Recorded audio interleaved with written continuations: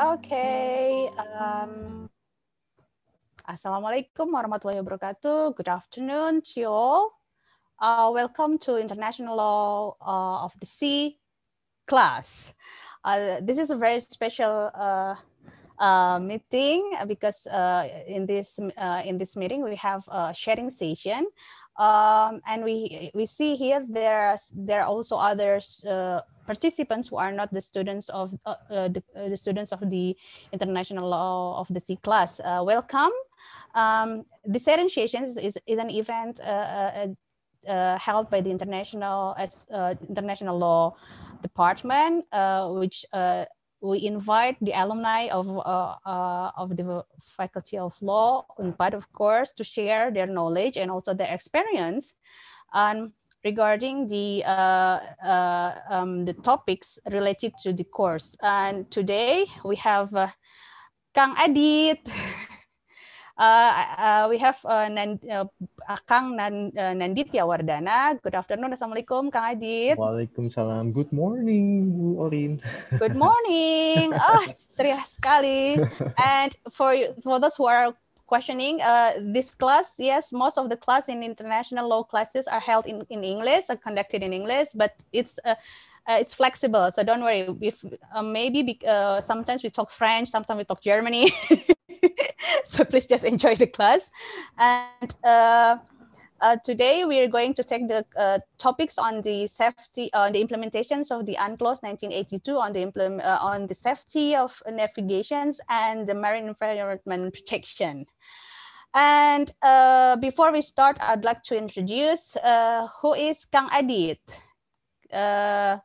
Oh, yeah, oh, sorry. Okay, I have to introduce myself. Thank you, Rere, for reminding me. I am the lecturer, uh, one of the teaching uh, team for the International Law of the Sea. I'm not the expert. That's why I call Kang Adit to share uh, his ex uh, his expertise here. I'm I'm uh, I'm I have my bachelor degree in international law in in, in UNPAD and my master in Nottingham University in the UK. Okay, I think we have to change the slide, please. it's not necessary to introduce me, so we'll introduce the uh, Kang Adit. Uh, please, can you please uh, share the uh, information on Kang Adit. Okay, uh, Adit had uh, had his uh, Bachelor of Law from the Faculty of Law Universitas Padjadjaran, majoring international law. She, he took the class in 2000. Uh, he's my classmate, and he continued to uh, his master program as a magis um, management magister of management, also in UNPAD. But then he found finally his passion or maybe enforced by his duty he continued his, his master of he had his master of science for the maritime law and policy. Uh, he got the scholarship from the Sasakawa fellowship of the nippon foundation uh, uh, it's at the world maritime university. Oh hang on. Sorry. We have advertisement uh, I'm, I'm sorry, Kang Adit and audience, it's okay. always happened uh, because it's working from home. And uh, uh currently, Kang, uh, Kang Adit uh, work, work as an officer for the International Cooperation Directorate of Navig Navigations. Mm. And and he's the you can see from the from the CV, he's the assistant deputy director. Mm and then I think now he's the assistant uh, uh, deputy director for the operations for the sub directorate of the maritime communications, directorate of navigation, uh, sea, uh, sea transportation, Kementerian Perhubungan, uh, Direktorat Laut. Uh, is that correct, Kang Adit? Yeah. Maybe we, we, at first we would uh, be wondering what what is the relations of the Ministry of Transportation because usually people uh, students always think that oh, okay if you talk yep. international law and then our people is only for Ministry of Foreign Affairs, but it's not. See, we have Ministry of Transportation who's not only dealing with Damri or PJKA or but uh, Kang Adit is a specialist for the safety of navigation and marine protection. He is uh, the, the representations and all led the delegations for many uh, uh, conferences, Maritime Organization, International Maritime Satellite Organization, and many more. So he is one of the important persons in Indonesia no. who can share a lot of things, specialties about the safety of navigation. Gitu ya, Kang Adit. Kang Adit, um, before you start your before you start um, uh, sharing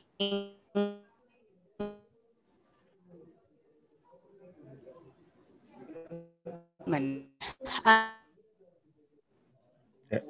Delvin, can you hear me?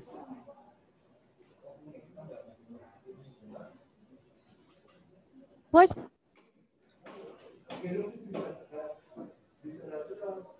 Delvin.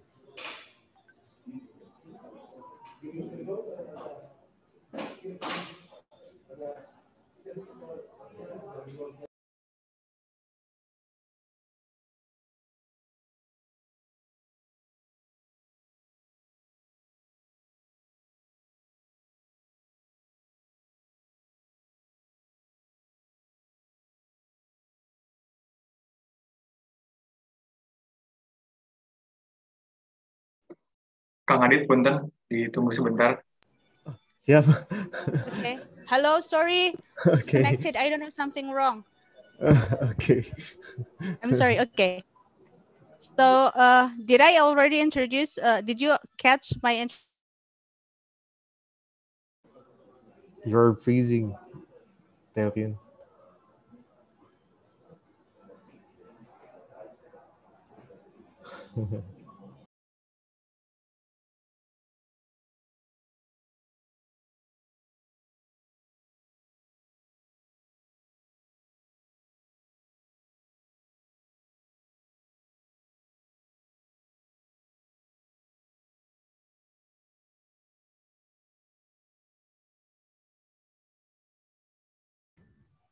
Okay. Hello.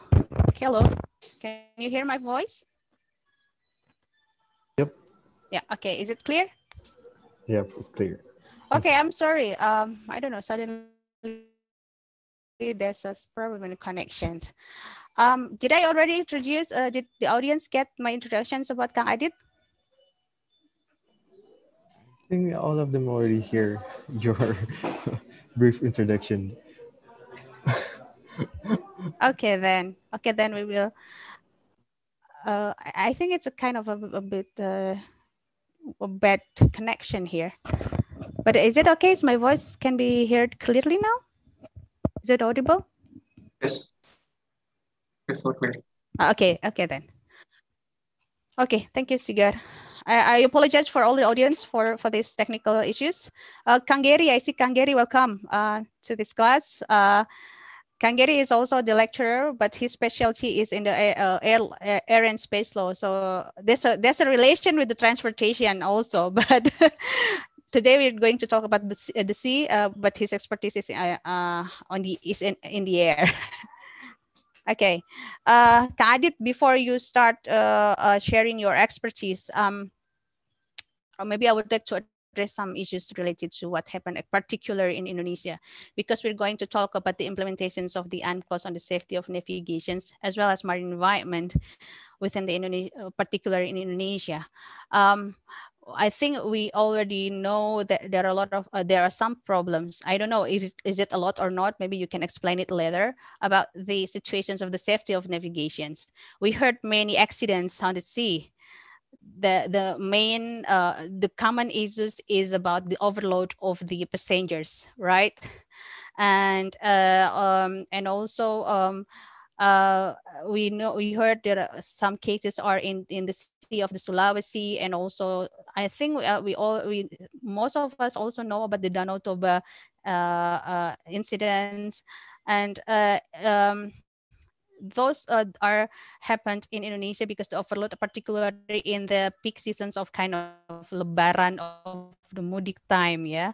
And uh, I've experienced taking a boat from the uh, um, southeast Sulawesi to the island of Muna because that's the hometown of my husband. And I just knew that the, actually the uh, if we take a boat or if we take the ship, it's not only Pelni. There are a lot of the private companies also having this business. So maybe you can also share uh, how is actually uh, the, the regulations uh, to, to them because if we took the VIP VIP class, it was okay. It was comfortable, but but the economy class that I think I think that's the, that's the cost of the overload uh, of passengers. And also, I would like to ask whether is there any regulations about if we know if a pilot uh, also a driver. They have they must have a license to drive or to take the to take the plane. It, is it also the same for the for the navigation uh, uh but uh, is it only for the uh, uh, for the ship who take passengers or is it also shall be applied to like a traditional fisherman because uh, I because you're not quite sure. Maybe you can also explain about that because many traditional fishermen they do uh, fishing and take the boat traditionally they have they have the skill because of the parents and back to the safety of the navy so uh, i mean this is also maybe can be is it also one of the cause that the i heard uh, I, I, read some case uh, that the uh, accidents that the accident in the sea is also caused by the unskill or lack, lack of knowledge on the uh, safety uh, of navigations by the um, um, what we call it? The the captain of the boat? And is it also because of that. And uh, and when the accident happened we know let's say the collisions or of course it give uh, effect like a um, uh, the uh, like a debris for the for the sea. And if it if the shipwreck maybe it's also da- uh, uh, um, dangerous make make it dangerous for the for the uh, organism beyond beyond the sea below the sea sorry. And and uh, uh, not not to mention the oil spill. We have, I think, quite popular case the oil spill in Karawang, if I'm not mistaken, from the Pertamina. Maybe you can also share about that. And I think the last case we. Uh, um, the submarine. If uh, I think we all, we all, all of us know uh, about the um, uh, submarine um, Nanggala 402, but not particular in that. But my question is, is there also the, the safety of navigations also applied to the submarine and also the marine environment uh, protection uh, in regards to the, uh, to the effect of the uh, uh, uh, accidents or, by this submarine also regulated? Because what I know, if the accident by ship, okay, it's, it's I think it's, maybe it's i think it's regulated and it's uh, and also uh, what we heard about like uh, sriwijaya air i think all of us know about that.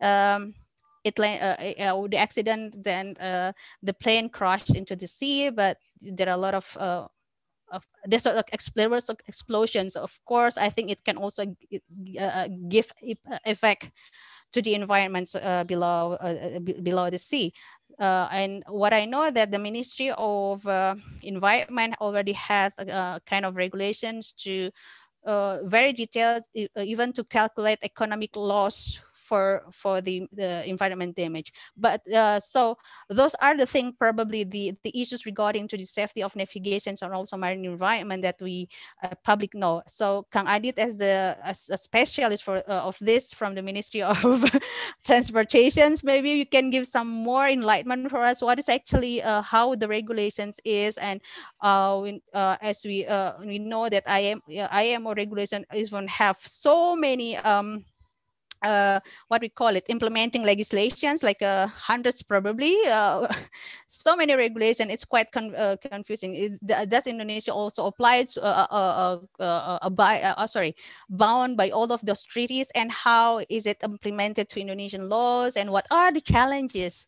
This uh, what we know that so many regulations so many legal instruments that quite good but the problem is actually when we do research in many in many issues so the, the problem is in implementations uh, uh, well, there's a difficulties in the field. So maybe you can also uh, uh, uh, elaborate about it.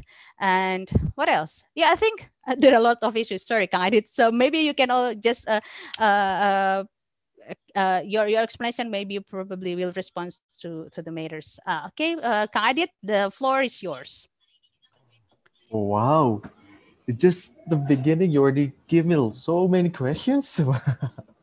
I haven't uh, give you any explanation. You already gave me so many questions. So yes. it's okay. But uh, before I explained uh, several items that related with your questions, actually I already uh, insert all of those uh, explanation on my presentations. But however, I would like to uh, explain it first on the your first question is related with the overload and over dimensions of ships.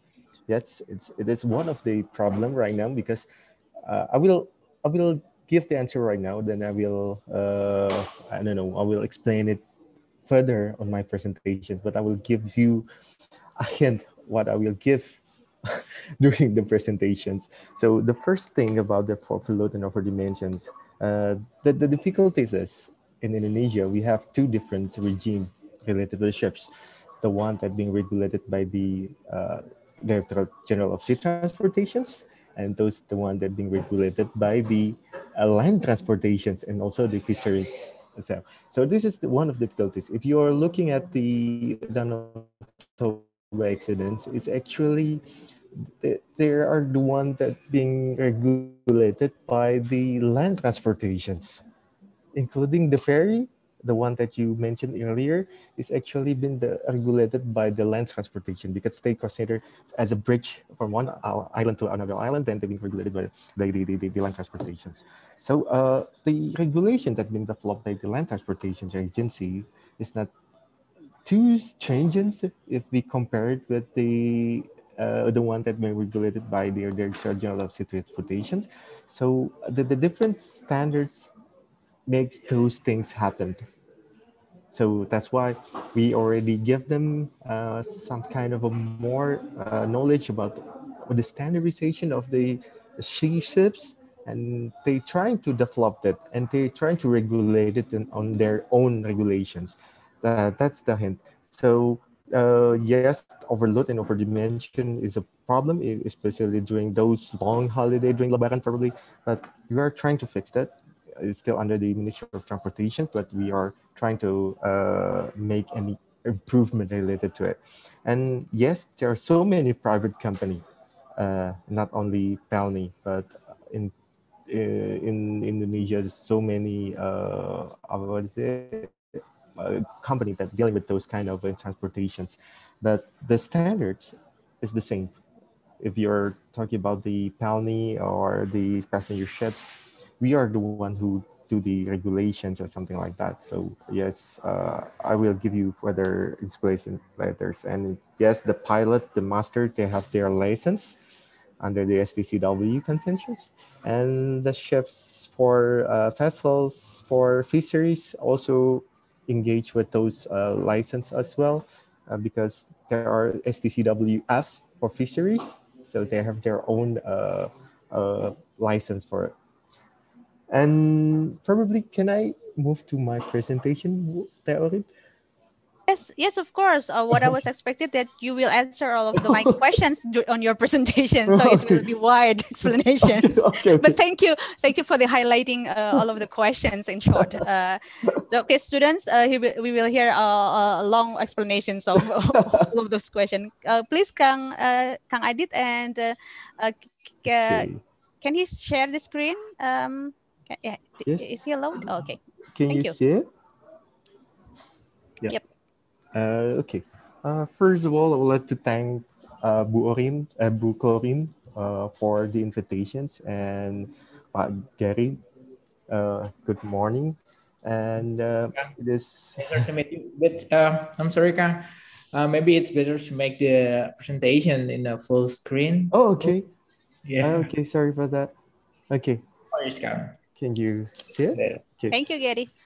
Okay. Uh, yes, uh, I would like to thank the faculty for inviting me and especially to the uh, to the Orin uh, on this sharing session. I would like to give you several main information on the safety of navigations and marine environmental protection issues and which relevancy to the UNCLOS 1982. And uh, we would like to share several issues, hot issues right now in, including those submarine issues and then the uh, marine environmental protection issues, the PSSA, in case you have heard it, and then how the relevancy of the ship registry with this uh, safety of navigation and marine environmental protections. So uh, on my first slide, I would like to give you a bit uh, information about the maritime transport facts. I know that we as uh, legal scholars uh, we kind of uh, allergic with the numbers, but you need to know that the numbers is very important to us in reality because based on this number, we can develop the, uh, the, the, the, the, policy, the right policy, the right uh, regulations that suits to one particular issues. Uh, in this number, the, these figures, I would like to give you explanations about the importance of the uh, maritime transport itself. Uh, the first things about the vessels, the numbers of vessels.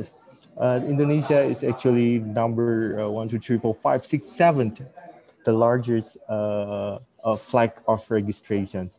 Uh, and then uh, the seafarers in Indonesia, in total, there are 1.2 million seafarers works all over the world. And then the seaborne trades volume is like 11 billion tons. It's like 90% of the world transport right now using the maritime transport. And the world commercial fleet right now increased 2.0 billion DWT, DWT, and then the, we the global container port traffic reached uh, 793 million TEUs. Uh, if case you don't know what is TEUs, uh, you know that one container is considered one TEU. So if you are, uh, if you want to know right now, the whole world, there are seven million TEUs uh, in, in, in coming or departing from one port. And then 61% of all goods is actually unloaded in SNC ports. And then developing economy uh, share of seaborne trade import rose to 64%, and the world commercial fleet grew by 52 million, and half the world fleet is owned by Asian companies. And uh, the throughput container is reached uh, increased 4.7%, and this is the important one. The, the, the, the vessel size from the two, 20 years ago, right now, the ships built in the last four years is nine times bigger, the tankers. The container ships is four times bigger, and the general cargo ships three times bigger, and the bulkers twice as big. It means that the ships may carry those containers, that goods more efficient, but there are several risks that may occur. The first one, the, the, the safety of navigation issues should be uh, very uh, high because the ship is getting bigger and the others will be the container. Uh, the ports should be ready to receive the biggest ships that may come to their uh, port. And then the annual carbon dioxide emission by vessel types. Uh, if you can see that, because there's so many ships, there are bigger uh, from the 20 years ago compared to 20 years ago. The annual carbon dioxide is increasing. So the, the, the number of ships is getting uh, bigger. The numbers uh, is, is, is, is there. I mean, uh, there, there are two 119, 22, 499 tons of CO2 and something like that. So uh, these figures make us need to know what steps that we really need to do, what convention that we need to argue for, what kind of regulation we need to develop, the technical aspects. And then uh, uh, sorry. Uh, before I continue to the issues of relatives with the safety of navigation and marine environmental protections, I would like to refresh your memories about the UNCLOS itself. Uh, of course, and of course, you already know this facts that it's entered into force in November 94, has been ratified by 168 states, uh, covered the most important main issues, and it it's considered as constitution of Dutch oceans, and it channels three types of merchant states, the coastal states, port states, and flag states. And there's historical precedent, you already may, may aware about the Hague Codification Conference, the first Law of the Sea Conference, the second Law of the Sea Conference, and others. Uh, the main convention features uh, of course, the first one. It solves the questions of the breadth of the territorial sea. And then uh, it succeeded the establishing a compulsory procedure of dispute settlement and created new, three new institutions, which is the International Seabed Authority, the International Tribunal for the Law of the Sea, the Commission for the Limits of the Continental Shelf, and the international recognitions. This is the most important one, the international recognition of the attributed states concepts. Uh, why I mentioned about the maritime zones, because when we would like to regulate about the safety of navigation and marine environmental protection, we need to know our rights and we need to know our obligations. That's why, because of these maritime zones, for instance, what we can do in archipelagic waters, what we can do in the territorial seas, and what we can do in the contiguous zone until the economic exclusive zone. That's why I reiterated the, the, the, the, the, we would like to highlight the importance of having knowledge about the uh, maritime zones itself. Uh, right now in our regulation uh, under the Act number 17 year 2008, the uh, Director General of Sea Transportations uh, mainly works on the territorial seas and archipelagic waters related with the safety of navigation and marine environmental protections. And there is another uh, pictures of the uh, archipelagic waters and others related with maritime zones. And another one that might uh, important that is related with the rights of passage right of passage and navigation is actually very important is uh, after the maritime zone the right of passage of ships is also important that uh, important issues that need to be highlighted because these two among others are the most frequent issues that being discussed on daily activities in our in, in the real world i mean and then and then in our uh, in our ministry in our director general of sea transportation the, the, the, the most important one is we need to know about this the right of passage and the maritime zone itself. We uh, know based on UNCLOS there are several uh, rights of passage. The first one is the right of innocent passage it's regulated under Part 2 of UNCLOS. It applies at the territorial seas and archipelagic waters. And uh, the coastal states may adopt the laws and regulations uh, with the implementation of innocent passage, including those related with the safety of navigation and marine, marine environmental protections.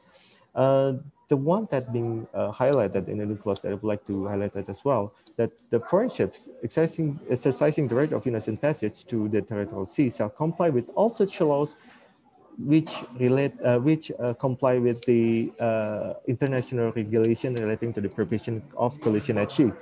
The prevention of collision at sea, the convention itself was developed by the international maritime organizations.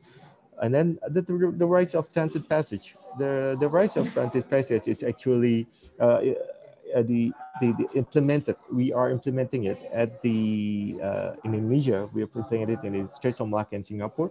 And it's regulated to the Part 3 of UNCLOS, and it's the for the purposes of continuous and expeditious transits of the strait between one part of the high seas and exclusive, exclusive economic zone and another part of the high seas or an exclusive economic zones. The most important one that the coastal state shall not deny, hampering, or impairing the right of transit passage and then uh, we comes into the rights of archipelagic land passage. The, the, the rights of archipelagic land passage is actually being uh, regulated under Part 4 of UNCLOS, and uh, the, it's almost the same with the uh, rights of transit passage. Uh, it's for the purpose of continuous and expeditious passage between one part of the high seas or exclusive economic zones and another part of the high seas and exclusive economic zones. And again, the coastal states are not um, denying, hampering, or impairing the rights of archipelagic sea lane passage. And the coastal states may designate sea lanes, which includes all normal passage routes used as routes for international navigations. And the question right now, in Indonesia and archipelagic sea lane uh, itself, is it considered as a full destinations or only the partial destinations? So prior to the, uh, the adoption of Indonesian archipelagic sea land 1998 is there are no regulations, there are no guidelines from IMO that regulated the uh, destination of the sea lane, whether it's full destination and partial destination. However, because of our proposals, the IMO developed this uh, guidance, uh, general provision on the sea lane passage, uh, which give us some kind of a guidance on how the, the, the, the archipelagic state could designate the archipelagic sea whether it's fully designated or partially designated. Unfortunately, Indonesia right now, we are still considered as a partial designated archipelagic sea. It means that uh, the ships uh, could implement the rights of archipelagic sea passage to the other routes that they consider normal to be used for international navigations. Aside from those three archipelagic sea passage that uh, archipelagic sea that have been the, adopted by the IMO for Indonesia. And of course, the other one is the freedom of high seas, where in the EEZ and, and the high seas, all states have the freedom of navigation. It's under part uh, seven of the UNCLOS. Now we going into the uh, wait, the, the, the the correlation between UNCLOS and safety of navigation marine, front, marine environmental protections. The issues related with the uh, safety of navigation and marine environmental protections is very related with the maritime zones, including its right of passage and navigations. And in UNCLOS, it's clearly stated that the states shall comply with the international regulations which adopted by the competent international organization in dealing with the safety of navigation and marine environmental protections. This competent international organization also developed those conventions uh, and then also the, the guidelines and other technical uh, guide, uh, guidelines or technical uh, guidance for uh, the enhancements of the safety of navigation and environmental protection itself.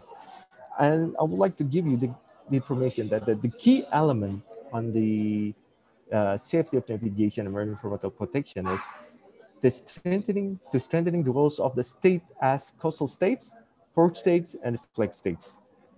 The, the roles of coastal states, we know that we need to provide, as a coastal state, we have the rights and obligations to provide the infrastructures for the ships coming to Indonesia that all of the infrastructure related with safety navigation, for instance, the vessel traffic services, the aids to navigation, is comply with international regulation. That's the uh, rights and obligation as a coastal state. And as a port state, we need to ensure that the foreign ships coming to our ports is actually comply with those international conventions. And we as a flag states, we need to uh, understand uh, what international convention that need to be uh, what standards need to be complied, need to be regulated into our own ships. That's the rights of uh, regulation, rights and obligation as a flag states. And of course, the last one, the UNCLOS requires all states to protect and to preserve the marine environment, and the states should also cooperate in developing the international rules and regulations. And uh, I would like to inform you as well that the safety of navigation around from Talbot Station is actually uh, can be one issues. If you can see at uh, in the pictures right now, uh, it is one of the accidents in the Singapore Straits where motor uh, one of the tanker is quite huge. Uh, it's, it's, around 300 meters tankers had a collision with the container vessels, and somehow so many oil uh, spill in those waters. So that's why the safety of navigation and marine environmental protection is quite uh, two issues that can be uh, cannot be separated. And then uh, the next one is about the national registry. Uh, I'm sure that I already give you uh, information the importance of the, the, the we as a flag states uh, coastal states and also the port states to ensure the safety of navigation and environmental protections. Now, the flag states itself is very correlated with the ship registry. Why? Because the ship registry, when the we have those uh, uh, uh, ships flying our uh, flag, it means that we have the obligations to ensure that the ships comply with the uh, international regulation related with the standardization of the ships, the life-saving appliance, and others. So under the Article 91 of UNCLOS, uh, we can we have the doctrine of the genuine link. The ship registry itself, uh, it stated that every state shall fix the condition for the grant of nationality of the ships. Those genuine link uh, doctrine, you can see it on the ICJ uh, cases uh, from the states in Guatemala uh, that it says about the effective nationality. So And the proposal for registration itself, uh, it, it, has two functions. They have two functions. The first one will be the public law functions is uh, the conferment of nationality and the right to fly the national flag and the national regulatory jurisdictions. And the private law function functions is about the prima facie evidence of title and ownership. And uh, as for as your information, uh, for your information, there are several type of registries. There are closed registry, a real connection, because this we have stringent condition of ownerships, manning and management and administrations. Open registry, the states permits ownership of ship by non-nationals. The employment of its ships with non-nationals is allowed. And then the secondary registry, the contract effect of the open registry, it permits the hiring of crews from other states and uh, the bareboat, bareboat charter registration uh, they can temporarily change of the flags during the duration of charter. Uh, two parties, uh, flag states of the owner and flag state of the charter. Now, after those uh, being mentioned about the competent international organizations, uh, which been mentioned on the UNCLOS, the IMO is actually one of those competent international organizations uh, which mentioned on the UNCLOS, aside from the ICAO, which related to the uh, aviation or something like that. The, the IMO is actually a specialized agency of the United Nations, which has the competence to generate international standards on the safety and security at sea and protection of the marine environment the mission of IMO itself is to promote safe, secure, environmentally sound, efficient, and sustainable shipping through corporations. And uh, IMO also work together with the UN agency in promoting the objectives of the UN, including the uh, initiative which related with the Sustainable Development Goals and others. And the present membership, uh, we had uh, 170 member states, three associate members, and observers from the shipping industries and other related stakeholders.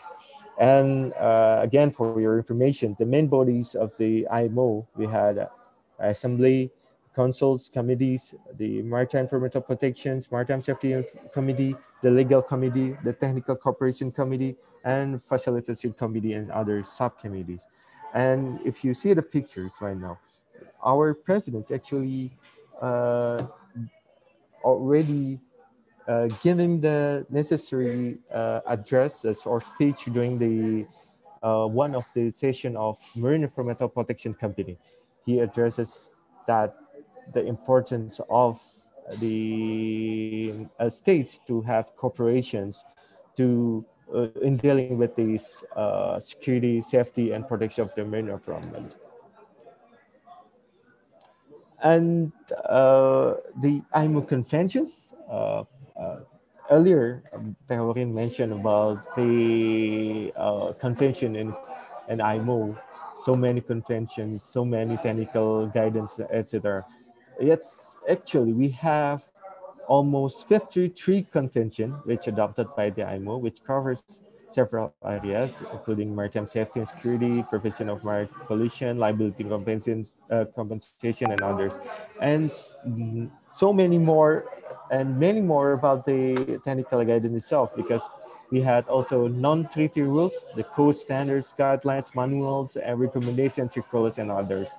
And uh, between the, the, the 53 convention, there are four pillars which considered as the most important maritime regulations on international shipping.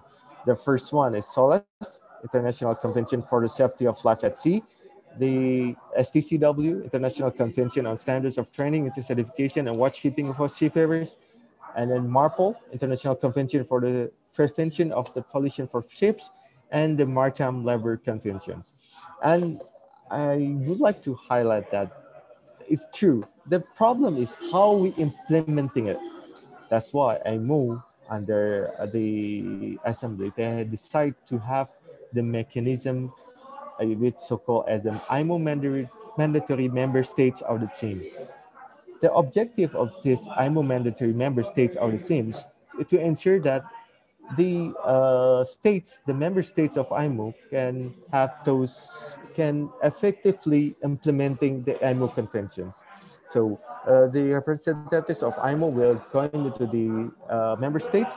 They will check whether the implementations of the IMO convention uh, is already comply with the IMO conventions, or there are some kind of uh, deficiencies that related with those conventions, with this those implementations. So in, in this case, Indonesia, we will have those audit. Uh, the, the next one will become will, will be held in 2023, if I'm not mistaken. So we are preparing right now.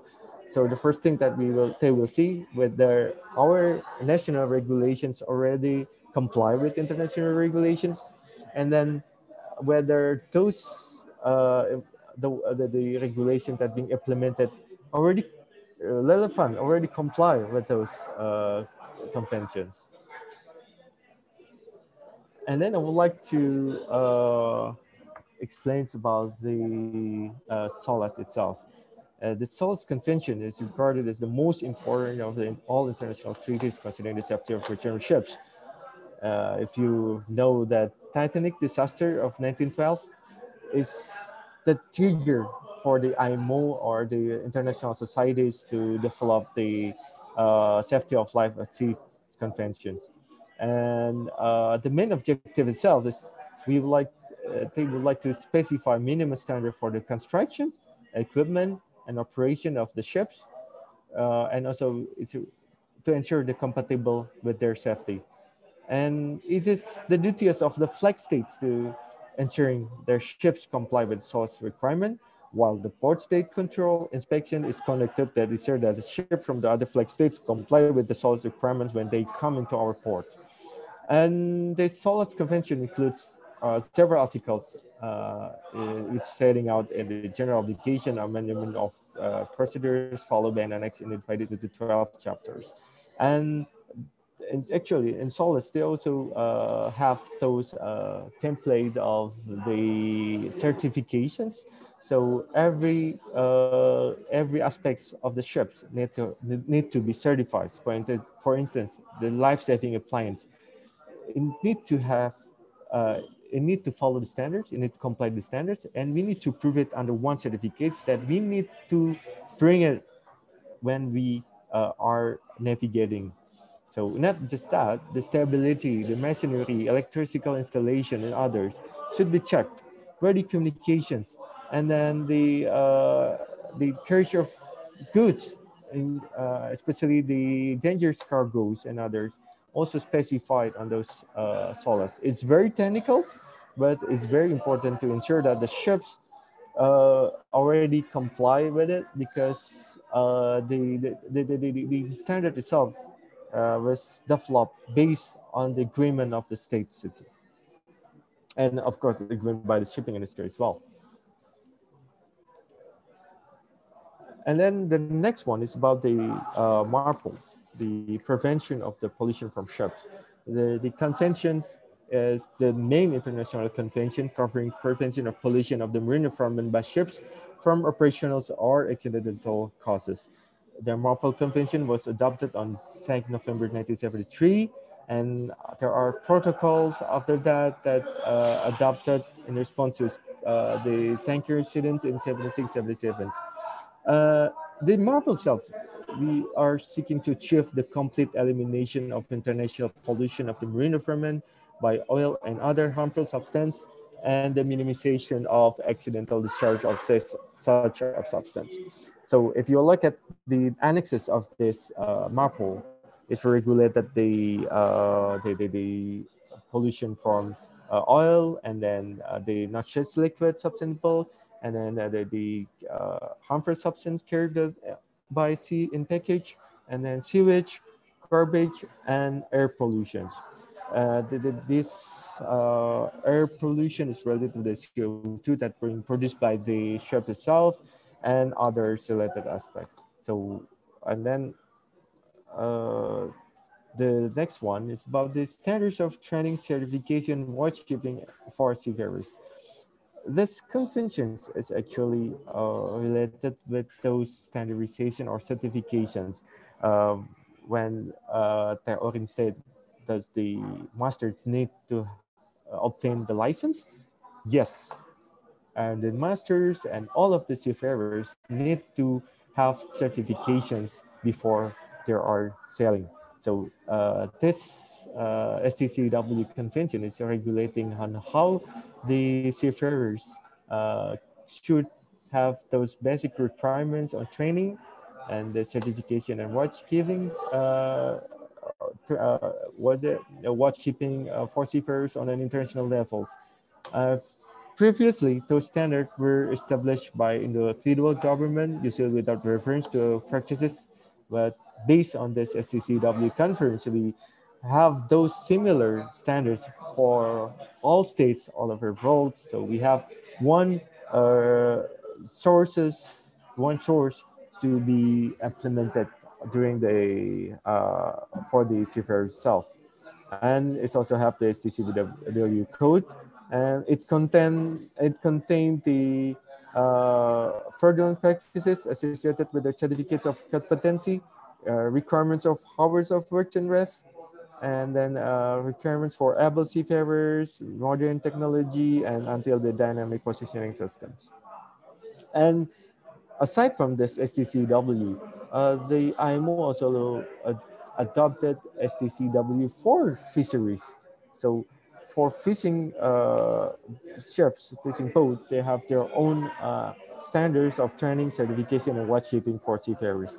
Because uh, based on the uh, observation made by the IMO, it's very hard for the seafarers who comes from the fishing ships to comply with the STCW convention. That's why they made special regulatory uh, conventions they made for the uh, fisheries vessels. Uh, and then uh, the next one is very important as well. It's related with the human element. If the other, the one that we mentioned is about the STCW is related with certifications, uh, and then the uh, related with the watchkeeping and the, the, the, the, standards of uh, what is it uh, training itself. Now we are talking about the conventions that uh, protect the rights of seafarer itself. It's called the Maritime Labor Conventions. It's related with the Article 94 of UNCLOS, which stated that the states, uh, the, the, the duties and obligation of a flag state with regard to labor condition, crewing, and social matters on ships that it flies flag. While the MLC is actually comprehensive international labor convention that was adopted by ILC of the ILO, and it's it's like uh, some kind of a codifications with, uh, that uh, based on those uh, already found in the maritime labor instruments Convention and Recommendations, which adopted by the ILO between 1920 and 1996 with some uh, several updates. And it consolidates and revises the existing international law in, uh, in this matters. The basic aims of this MLC is, again, to, to, to provide the protection of, uh, the, of for the seafarers and uh, give the protection of the rights of the seafarer itself and to establish a, a, level playing field for countries and ship owners committed to providing decent working uh, and living condition for seafarers. If you're looking at the Maritime Labor Convention, so many items that being uh, regulated over there. Uh, the, the rights for uh, seafarers to have those uh, uh, what is it, agreement with the ship owners, the, the, the, the rights for them to have the facilities and service the rights for them to have a proper uh, uh, location for uh, sleeping or something like that. It's being regulated in this convention. That's why they said uh, the convention is sometimes called as the Seafarers Bills of Rights. Um, it's so many things that being regulated in those four main uh, conventions uh, it took me more than a year. There are more than eight subjects related with this uh, conventions. That's why I would not give you details information about this one. Probably you can just read it by yourself, but I will give you the introduction itself, uh, the prior, uh, the uh, implementation of this in conventions. Now I would like to in, uh, comes into the uh, uh, practical side of it, the, the practical side of the UNCLOS. The first one I would like to give you the examples is related with the uh, how the UNCLOS, especially part three of UNCLOS, could enhance the safety of navigations and marine environmental protections in the Straits of Malacca in Singapore. So uh, if you may aware that the Straits of Malacca in Singapore is considered as one of the choke points of the world, uh, more than 85,000 of ships passing through the strait every year. And uh, it has prior uh, this the, the, the, the, the adoption of the cooperative mechanism in the Strait of Malacca in Singapore, there are several huge uh, accidents uh, occurred in the Strait of Malacca in Singapore, and so many uh, critical areas within the uh, traffic separation schemes in the Strait of Malacca in Singapore. So uh, we need to do something over there. That's why in 2007, uh, based on the Article 43 of UNCLOS, uh, the littoral states, littoral states introduced the cooperative mechanisms to enhance the safety of navigation and marine environmental protection within the straits. Based on the State Article 43 of UNCLOS, we managed to invite not only the other littoral states, but user states, shipping industries, and other stakeholders, and invite them to contribute voluntarily to enhance the safety of navigation marine environmental protection in the Straits of Malacca and Singapore. What they conducted, what they give us is the one, they give the direct funding to us, and aside from that, they give them give us the uh, in-kind contributions. So a study is something like that. So they give their efforts together with uh, the littoral states to enhance safety of navigation and marine environmental protection within, in, within the straits. And uh, it answers actually the issues of internationalization of the straits because we would like to show Indonesia, Malaysia, and Singapore would like to show that uh, this uh, this uh, straits can be um, managed by the littoral states within the help of the other little states without uh, uh, with still considering the part three of UNCLOS itself. So the sovereignty of the uh, states is still respected, while the safety of navigations and the maritime protection can be maintained. There are uh, more than uh, 15 projects right now that being uh, developed under the cooperative mechanism in the Strait of Malacca in Singapore, and it affect it was effective to reduce the number of accidents and marine pollution in the straits and managed to invite contribution from the United States. The main body of the cooperative mechanism is one, the cooperative cooperation forum, the project coordination committee, and H navigation fund. And if you want to know further about this issue, you may visit our websites, cmsoms.com. Uh, if you want to have a further study related with these cooperative mechanisms, you can may uh, contact me and we can may discuss about this. And then the next one is about the designation of the traffic separation schemes in Sunda and Lombok Straits. Uh, it's related with the implementation of uh, Article 53 of UNCLOS. Uh, if you may know that the Sunda and Lombok Straits are the, the two most important shipping routes used for international navigations.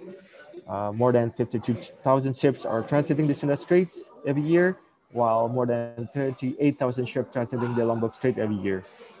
Based on Article 53 of UNCLOS, in order to reduce the risk of collisions, the archipelagic states could designate the traffic separation ships in within the uh, archipelagic sea lanes. And after a long discussion uh, from the 2002 until 2019, uh, the IMO adopted the TSS within those two straits and until now we, we we already implementing it and it was effective in reducing the collision as well as the marine pollution within the straits what we do during the discussions uh, when we give the gave the proposals to IMO we have several questions from the other uh, user states and the flag states, uh, especially from Australia, from the United States, and then the Japan and Korea and others. The, the main uh, the main question will be uh, whether this destination of TSS will hamper the rights of archipelagic lane passage. And every occasion, we always stated that we will not hamper, impair, or suspend the rights of archipelagic lane passage. In fact, with this destination of the with the destination adoption of the traffic servers in Simpson and Sundan Lombok Straits, we're trying to enhance the safety and environmental protection on those two straits. So uh, we have extensive discussion among the states and uh, fortunately, not fortunately, uh, on 2019, uh, uh, the TSS on the archipelagic sea lane. And then uh, we're going into the uh, marine environmental protection issues uh, based on the provision on the part of 12 of UNCLOS, the IMO developed the tools or initiatives uh, related to particularly sensitive sea areas uh, to protect the marine environment. There are uh, the uh, resolutions that regulated this one, the re resolution on the revised guideline for the identification and destination of particularly sensitive areas.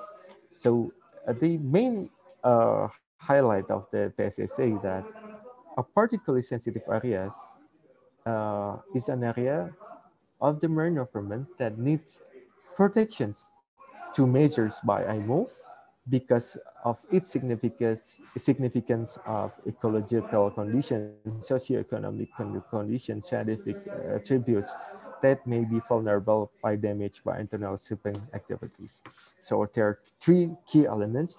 Uh, there are areas that need to be protected, uh, and then uh, there are uh, vulnerability of damage from the international shipping activities. And the important one, there are there is associated protective measures under the PSSA that need to be designated uh, within this PSSA framework. So for instance, uh, Indonesia, we propose to have uh, the PSSA on the Lombok Strait. Uh, the we still ongoing right now. It's still ongoing right now, and we will give the proposal probably uh, end of this year or the next year. And uh, there are 17 areas of, of this in the world that already designated as PSSA. But in the case of Indonesia, the Lombok state, the PSSA of Indonesia will have TSS as a protective associated protective measures. So the associated protective measures is not always uh, related with the safety, it's also related with environmental protections. It could be under the SOLAS and also can be under the MARPOL.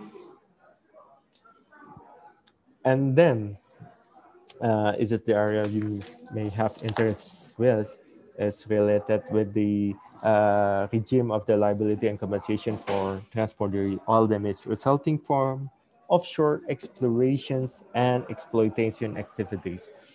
Uh, you may aware about the Montara platform accident, which occurred in August 2009, uh, which uh, made huge impact on environmental, social, economic uh, within the society uh, at the vicinity of the uh, area of the uh, platform itself. After the accident, actually, there are efforts to obtain an appropriate compensation from the responsible parties. However, it's difficult and complicated uh, for the society to have those uh, compensations because there are lack of reference for dispute settlement. There are no international legal instrument that addresses the issues of liability and compensation for transport damage uh, resulting from the offshore explorations exploitation activities effectively and comprehensively by the time. And each state, uh, they have uh, their own practices in dealing with the issues. And it limited on the regional instruments which have restrictive effect in dealing with the state issues. And based on Article 182, 208, 124, uh, 235, and 2353, Indonesia and other interested states, we uh, jointly proposed the new regime of the new International Convention on the Liability and Compensation for Oil Damage resulting from offshore exploration exploitations. However, uh, due to the uh, kind of strong objection from those uh, other states, uh, IMO only agree to develop guidance on bilateral and regional agreement or arrangements. So right now, uh, after all of the efforts we already made, that uh, I, am uh, finally agree to develop those guidance, but only on the bilateral and regional agreements. So we have we uh, have those uh, model law to be improved by the uh, regional agreements or by the bilateral agreements. And it's this is the uh, the, the, the example of the the, the, the, the rights of passage related with the uh, what really happened uh, in the practice. Uh, so uh, if you may aware, on 1998, uh, Indonesia had temporarily closed Sunda and Lombok states for military exercise. Uh, there's two as closers. There's two states by the time is considered as the routes normally used for international navigations. However, under the Part 4 UNCLOS, Council states shall not deny, hampering, or impairing the rights of archipelagic lane passage. While Indonesia already ratified the UNCLOS in 1998-95, and based on the Vienna Convention on the Law of Treaties, we, the states is obliged to refrain from acts which would defeat the purpose of treaty when they already signed the treaty. So uh, the, the, the, the, the closure of the Sunda and Lombok Strait itself had the strong objections from the states, especially from the Australia, the US, uh, because by the time um, we would like to show uh, the, that the both straits are under the archipelagic land concepts or Wawasan Nusantara, Wawasan Nusantara, when all of the archipelagic borders of Indonesia, we have full sovereignty of it. However, uh, the Australia government and um, US government stated that uh, these two straits is considered as routes normally used for international navigations. Uh, after uh, debates and others, uh, and this the the the the, uh, the, the discussion about the rights of archipelagic sea itself, uh, it comes to conclusion that the Indonesia might uh, overrules or uh, might not implementing their part of UNCLOS. And then we had those Bawean incident in 2003 where American warships USS Carl Vinson with two frigates and one tanker are implementing the rights of archipelagic lane passage to the east-west routes close with the Bawean Island. And uh, it's close, very close with the northern part of Java Island. During the passage, five American uh, Hornets maneuvering and once into attack mode above the Bawean Island and disturbed the commercial flights. Uh, if we look into the Article 53 of UNCLOS, the archipelagic state does not designate, if the archipelagic state does not uh, designate archipelagic sea lane, archipelagic sea lane passage applies on the routes which normally used for international navigations. While under Article 39 of UNCLOS, the ships and aircraft shall refrain from any threat or use of force against the sovereignty of the archipelagic states and also refrain from any activities that might distract the continuous and expeditious transits. Uh, we had several questions about this Bawean incident and uh, uh, the does the uh, U.S. Uh, Carl Vinson, they are implementing their rights of sea passage, and whether they are implementing their rights or the obligation under Article 39 clause. Uh, based on the findings, uh, based on the study that been made by several scholars, uh, it was stated that actually the U.S. Vinson actually not implementing the Article 39 clause because they are threatening or they're using of force against the sovereignty of the Sea Lane, while they are uh, implementing the right of sea lane passage. And this is the newest uh, cases. Uh, on 2021, in case you have heard these issues on the news, the MT Horse and MT Freya Panama, Panama was caught conducting illegal activities in the Indonesian Archipelagic Sea Lane. Number one, uh, the two, those two ships anchored on the Archipelagic Sea Lane turned off the automatic identification systems, conducting illegal dumping and ship, ship transfer activities without any notification or permit from the administrations. While on the part for UNCLOS, they uh, stated that archipelagic lane passage applies for the ships which navigate for the purpose of continuous and expeditious passage within one part of the high seas and other part of high seas or exclusive economic zones. Or Article 39 UNCLOS stated that ships should proceed without delay and refrain from any activities other than those incident to their normal modes of continuous and expeditious transits. There are two questions actually. Yeah, it's my kind of homework for you. So does this, uh, does all foreign ships needed to use archipelagic sea lane when they stay navigating through the waters of Indonesia? And the second question, does this two ships, the KN Freya and MT Horse, still implementing the rights of archipelagic lane passage when they did those illegal activities? And can we implement our national law this is uh, can be answered by looking at the those two provisions on the part 4 of UNCLOS and Article 39 UNCLOS. And then this is uh, one of the areas that are now being uh, discussed extensively is related with the e-navigations. Everything right now is conducted on electro within electronic means to assist the vessels navigate.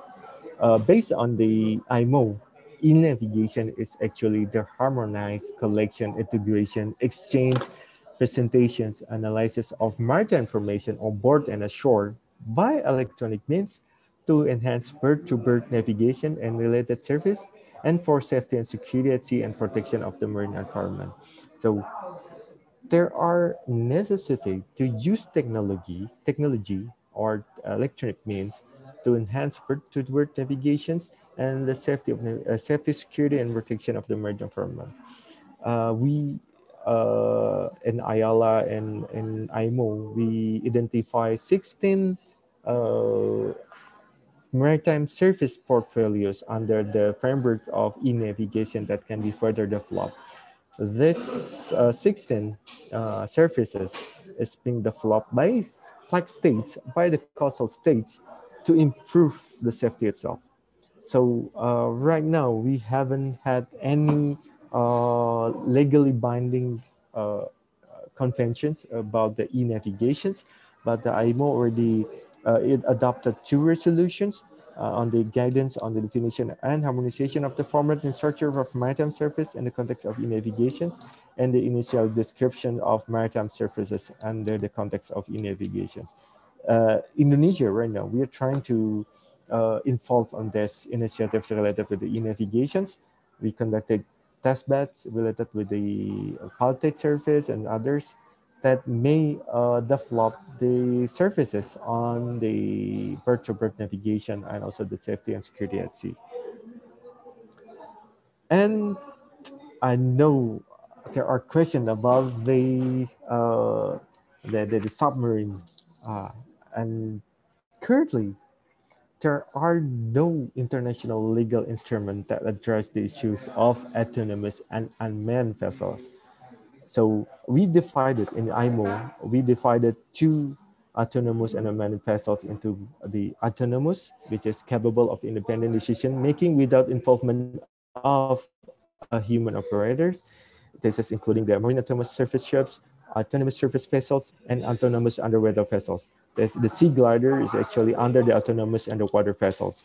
And the other one will be the unmanned. Uh, the unmanned is always monitored and under positive control of human operator. It's uh, divided into the unmanned underwater vessels and unmanned surface vessels. Uh, the progress of discussion at the IMO, right now IMO agreed to form a maritime autonomous surface ships agenda working group to discuss and formulate the legal instruments. While there are one guideline that already produced by those uh, working group is the interim guideline for maritime autonomous surface ships trials. And uh, based on the sea glider accidents uh, that uh, you may aware, we trying to conduct a study to formulate a national regulation, to write a national regulation of the autonomous and the unmanned vessels. And as for the accidents of this, uh, the the the uh, the submarine itself, uh, we have one convention that are already being uh, uh, been ratified by Indonesia. Is the uh, search and rescue conventions actually uh, the coastal states need to, to, to, to deploy their resources to conduct this search and rescue operation regardless what the ship is, whether it's autonomous ships or I don't know, not it's the, the, the, the, the submarine or the merchant ships. We need to have the obligations to conducted these search and rescue operations.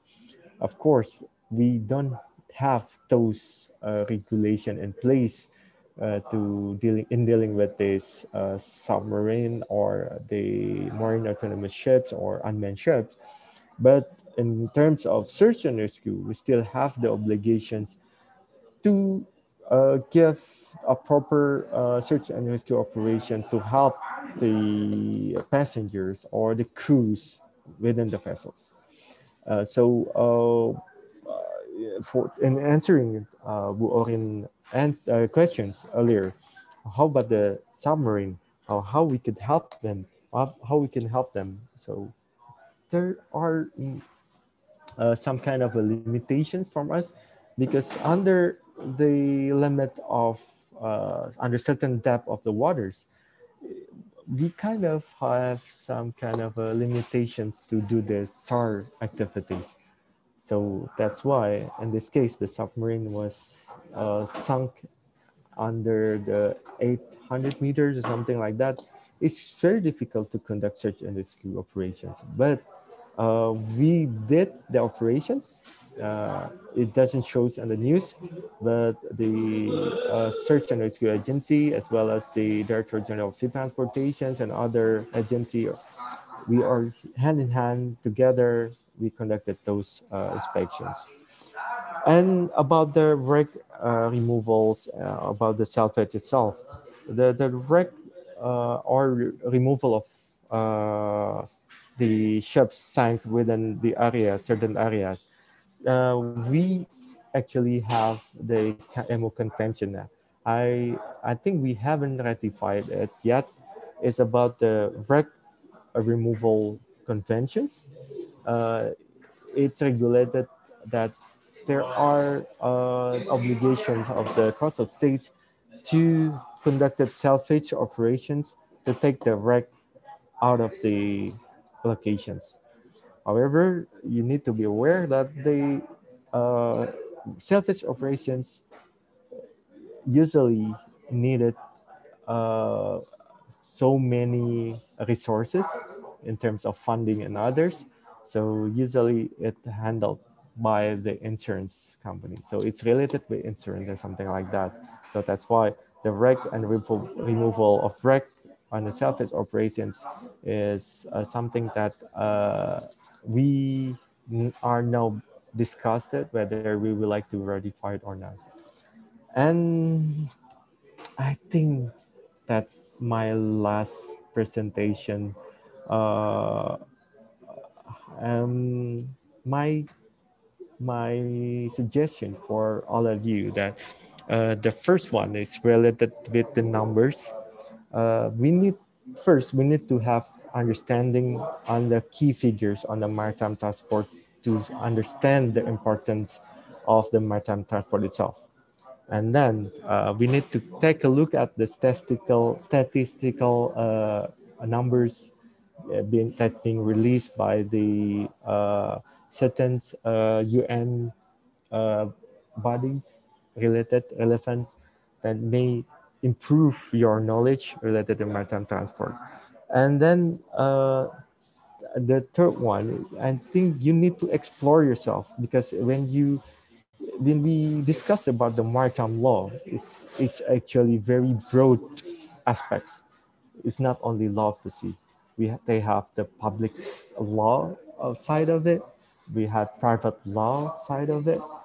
So so you, you it may uh, related with the carriage of goods, marine insurance, and others. So so many things to be uh, discussed over here, but I would like to focus more on these uh, public international law aspects on the safety of navigation and marine environmental protections. And if you have further questions, don't hesitate to ask me. And if you want to do study or review on particular issues related with safety of navigation and marine environmental protection uh, related with the IMO convention, please don't hesitate to ask me. Maybe uh, that's all for me, Bu Orin. Are you still there? I cannot see you. yes, yes, of course. I'm listening. I'm so amazed. Oh my god! Oh my god! During the presentation, I was like, oh my god, Sumano, Sumano is so fruitful. So many informations, as you said before uh, on our previous discussion. There are so many rules, so many instruments that. Uh, uh, related to these matters. Uh, so and it's yes, and then I have so many questions then uh, I did because uh, uh, there are a lot of cases related to the things that you mentioned. But maybe uh, some of the questions are addressed by the students. Some of the students raise it in, as their, their final thesis, but the description. But um, before I go on with my questions, I will let the audience first to ask you. I see questions here on the chat box from let me see. I see. I think I have Renata here. Uh, Renata, uh, are you here? Uh, maybe you can address your. Whoa, we have a lot of hands. I, I also have Kang Anom. Uh, hi, Anom. How are you? You always uh, uh, attend all of the presentation. I'm happy. I'm very happy. nice to see Anom again here. And also, yeah. then we have Gary and also Mbak Dias Anugraha Diasuci from uh, UNS Solo. So, but first we go to Renata first. Renata, please, you can address the questions to Kang Adit. Thank you, Ibu Orin. Thank you, Bapak Nanditya, for the opportunity. Good afternoon, sir. My name is Renata. Please allow me to deliver uh, my questions. Under Article 44 of UNCLOS, countries bordering straits have an obligation to provide information regarding to any danger of uh, navigation and in this article, there is a general principle of international law called duty to cooperate. And one of it is information sharing or appropriate publicity. However, if there is a country which refuses to share information regarding incidents, for example, armed robbery that occurred in its territorial waters, uh, the first question is, is the action of the state who holds back the information can be called as a substantive violation of international law? And what is the state's responsibility under international law? And is there any legal consequences of the violations in relations between countries? That was my question. Thank you in advance, sir. Thank you. Uh, so another question first? Maybe three questions first.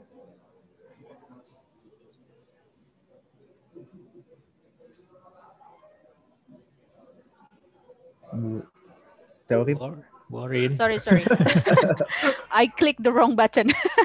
so, uh, so you just uh, collect the question first, Kang Adit, then you answer, or you will directly answer the question? Uh, I think we can have three questions first, and I can answer it together.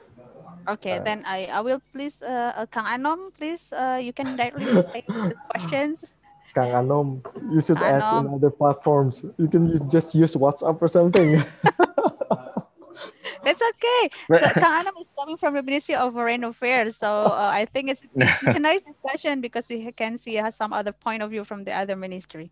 Okay, th- thank you, Theorin. Thank you, uh, Dr. Adit. I think this uh, you, have, you have presented a very valuable uh, presentation to everyone.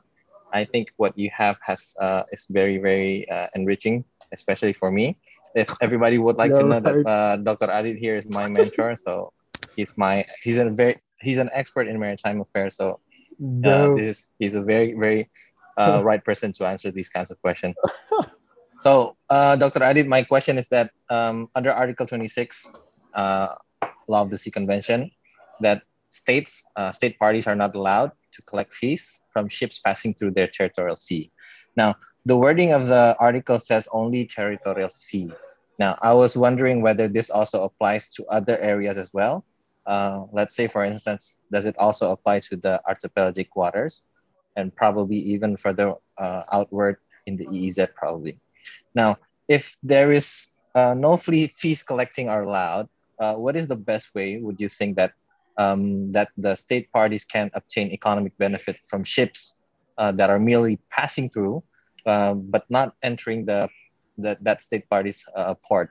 So I think, please indulge me with your um, bright ideas on this, Pa- Adit. Thank you very much. Uh, Thank you, Kang Anom. well, Uh, Kang Anom. Actually, Kang Anom already know the answers, but I don't know why he asks the questions. Kang Anom. because the students hasn't know yet, haven't know yet. So Kang Adit, so just let him. so, so you already, so you can also know.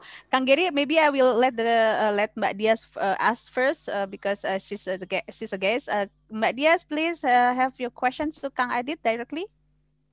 Okay, uh, thank you very much. Good morning, Teh Orin and uh, Mr. Adit. Uh, thank you for your inspiring uh, discussions for this morning. So I would like to ask about, uh, you, you mentioned about the TSS and we already have two TSS in Indonesia based on archipelagic uh, territory area in Indonesia. So we already have TSS in Sunda and Lombok. So my questions is, uh, is there any projections in the following time for Indonesia to submit another TSS? Because actually, when we mentioned about the TSS, we we experienced several incidents. For, for example, uh, the incident in Raja Ampat uh, caused by the foreign by the foreign yacht, and it's really uh, I think we yeah we have a lot of uh, so many quote unquote more negative impact rather than the, the, the positive impact from the activities of tourism activities over there. So is it possible for the following time? Uh, I'm not sure. Is this is it will, will be pro- proposed by your ministry or probably another institution? Is it is it possible for Indonesia to submit another TSS to protect our environment, not only about the uh, safety and uh, transportation routes in our our country, but what about the, the environment impact for our uh, for our oceans environment in the future time? That's my first questions. And then the second one is about uh, we we already uh, this we already established about the the archipelagic sea lanes from the north to south, but we we haven't uh, I think proposed the the the, the others uh, route for the west to east uh, lane. So what about the the projections in the future times? for the whole archipelagic sea lanes uh, established by the Indonesian government. That's my question. Thank you very much for the opportunity. Thank you, Teforin. Uh, thank you, Mbak Diaz. Kang Adit, uh, actually, I, I see from the chat box, there's a uh, Ibu Reni from KJRI, uh, KJRI Kakak. Um, I think the question is similar with Mbak Diaz, but uh, Mbak Reni, if you have uh, some particular which is different uh, with Mbak Diaz, maybe you can also address the question di directly. Hi. Uh, thank you very much, uh, Maureen. Uh, thank you very much for your excellent presentation, uh, Dr. Adit. No, Dr. Rennie is actually. Hi, Rennie. How are you? Fine, thank you. Oh, okay. so it's ministerial meeting actually. actually, uh, thank you very much. Uh, uh, Mr. Adit, I would like to ask you about the further question concerning the proposal for Lombok Strait as the uh, particular sensitivity area.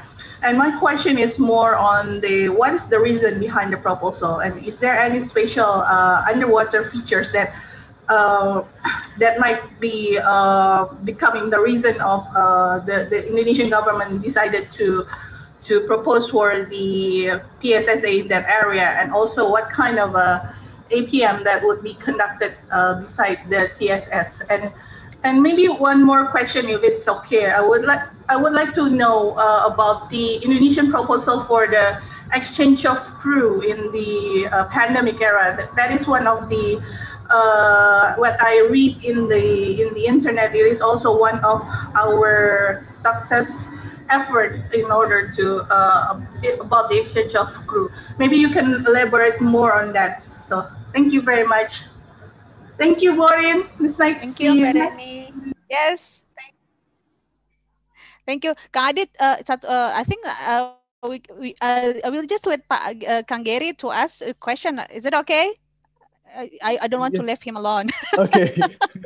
promise it will be okay. it, won't, it won't be very very long question just a short question i promise okay you. please Gary. if it's okay uh, thank you Borin thank you uh, Kang Adit for the enlightenment um, this morning uh, actually i want to bring up um, rather uh, recent issue uh, negotiated by indonesia which is the concept note of regional convention on marine environmental protection in Arafura and Timor Sea uh, between Indonesia, Australia, East Timor, and PNG.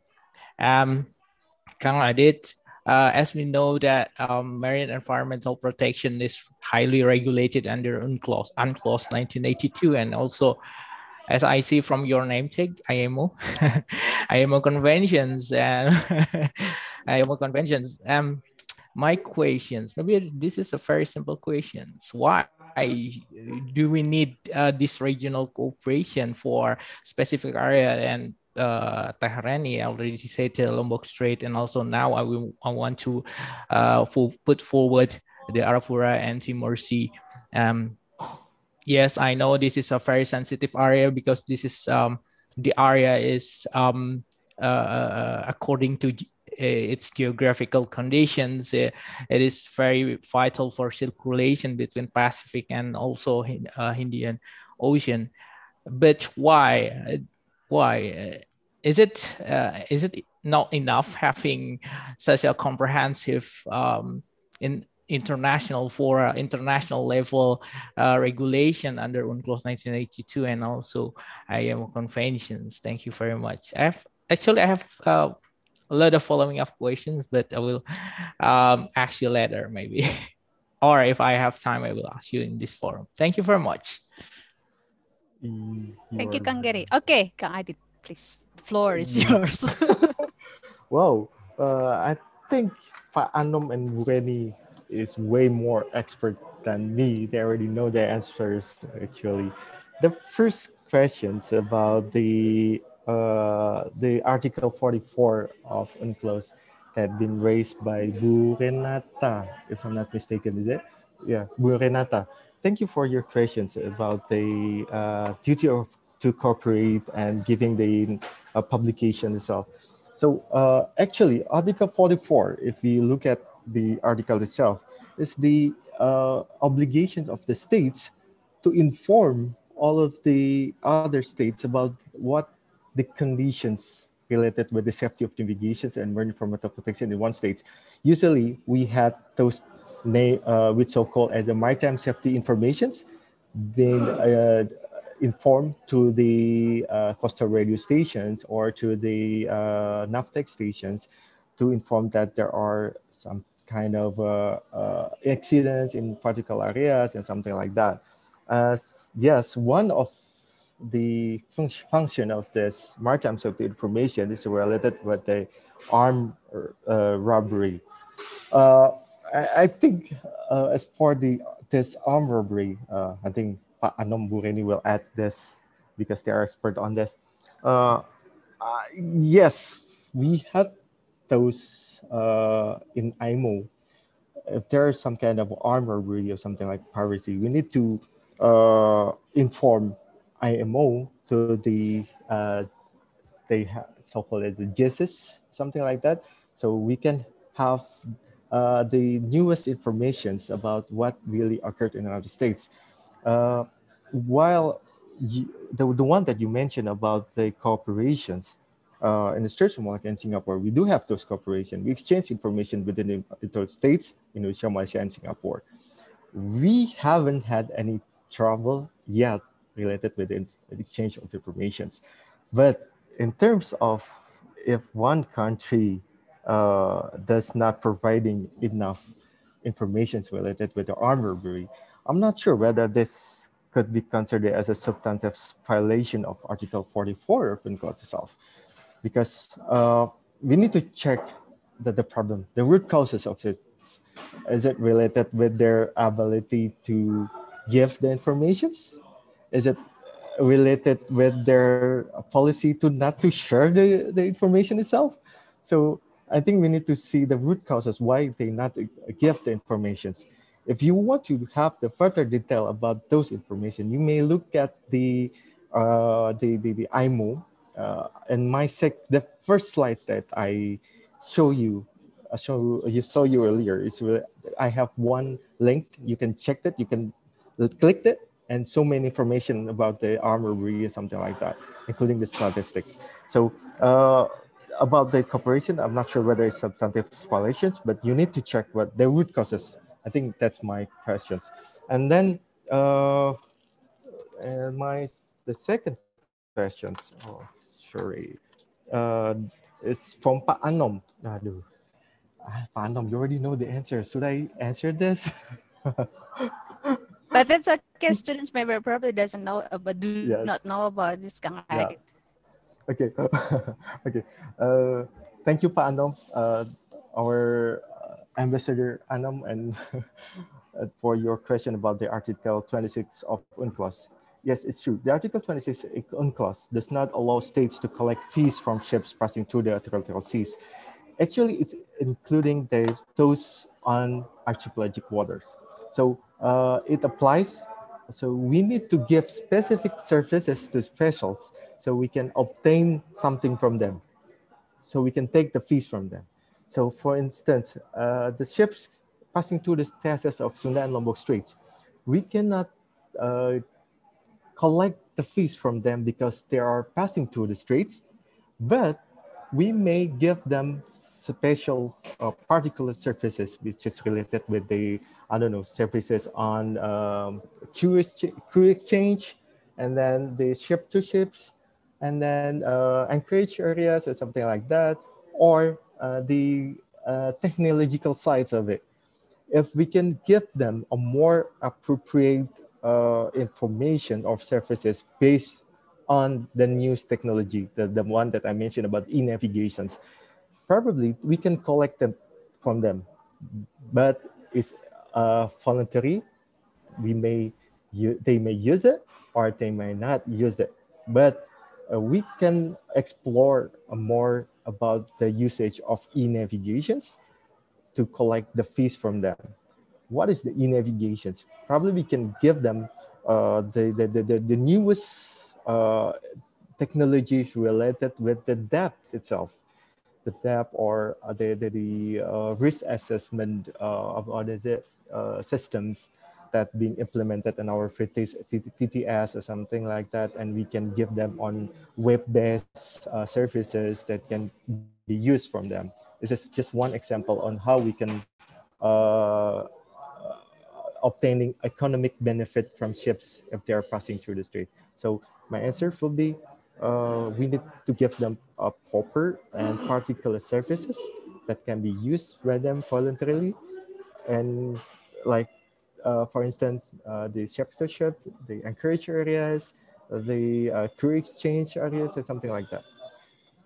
Uh, okay, uh, thank you, pa, uh, Ambassador Anom, for your uh, questions. And then the uh, guided, guided. Yes, yes. Before before we move on to, to the, the next question, so I yeah, just want to confirm: is this kind of debatable? Hello, guided. Yeah, yeah, yeah. You can you may answer. it. Uh, is it is that is that issue is a debatable issue between the ministries? is it yes? Uh, uh, no, no, no, I'm not sure. Let Oh, An- no. uh, Ambassador Anom answer that. okay then. okay, please proceed. thank you. And uh, Bu Anugrah, thank you for your questions uh, about the TSS. Yes, we adopted, uh, IMO adopted two TSS recently in Sunda and Lombok Straits. And is, you asked about the projections. Is there any way we can adopt another uh, TSS in other areas? My, my uh, answer will be before we propose a particular uh, proposals to IMO, we need to check whether this area meets IMO criteria, IMO, uh, what is it, uh, requirement, uh, so they could adopt it. The first thing they will ask whether the area is frequently used for international navigations. If not, there's no use for us to propose the TSS to the uh, IMO. In terms of uh, PES, uh, the TSS on Raja Ampat, actually, uh, based on the, our regulations, we already uh, implement some kind of ships routing over there. We have uh, one-way, two-way routes uh, being designated on Raja Ampat. So it's not only TSS acted as a way to promote safety of navigations, but based on the general provision on ship routing, uh, this is one particular uh, document under the SOLAS. The coastal states could develop and could implement the other, uh, uh, what is it, uh, ship routing using our own national legislations. So uh, the first thing we need to check whether this area is used for international navigations.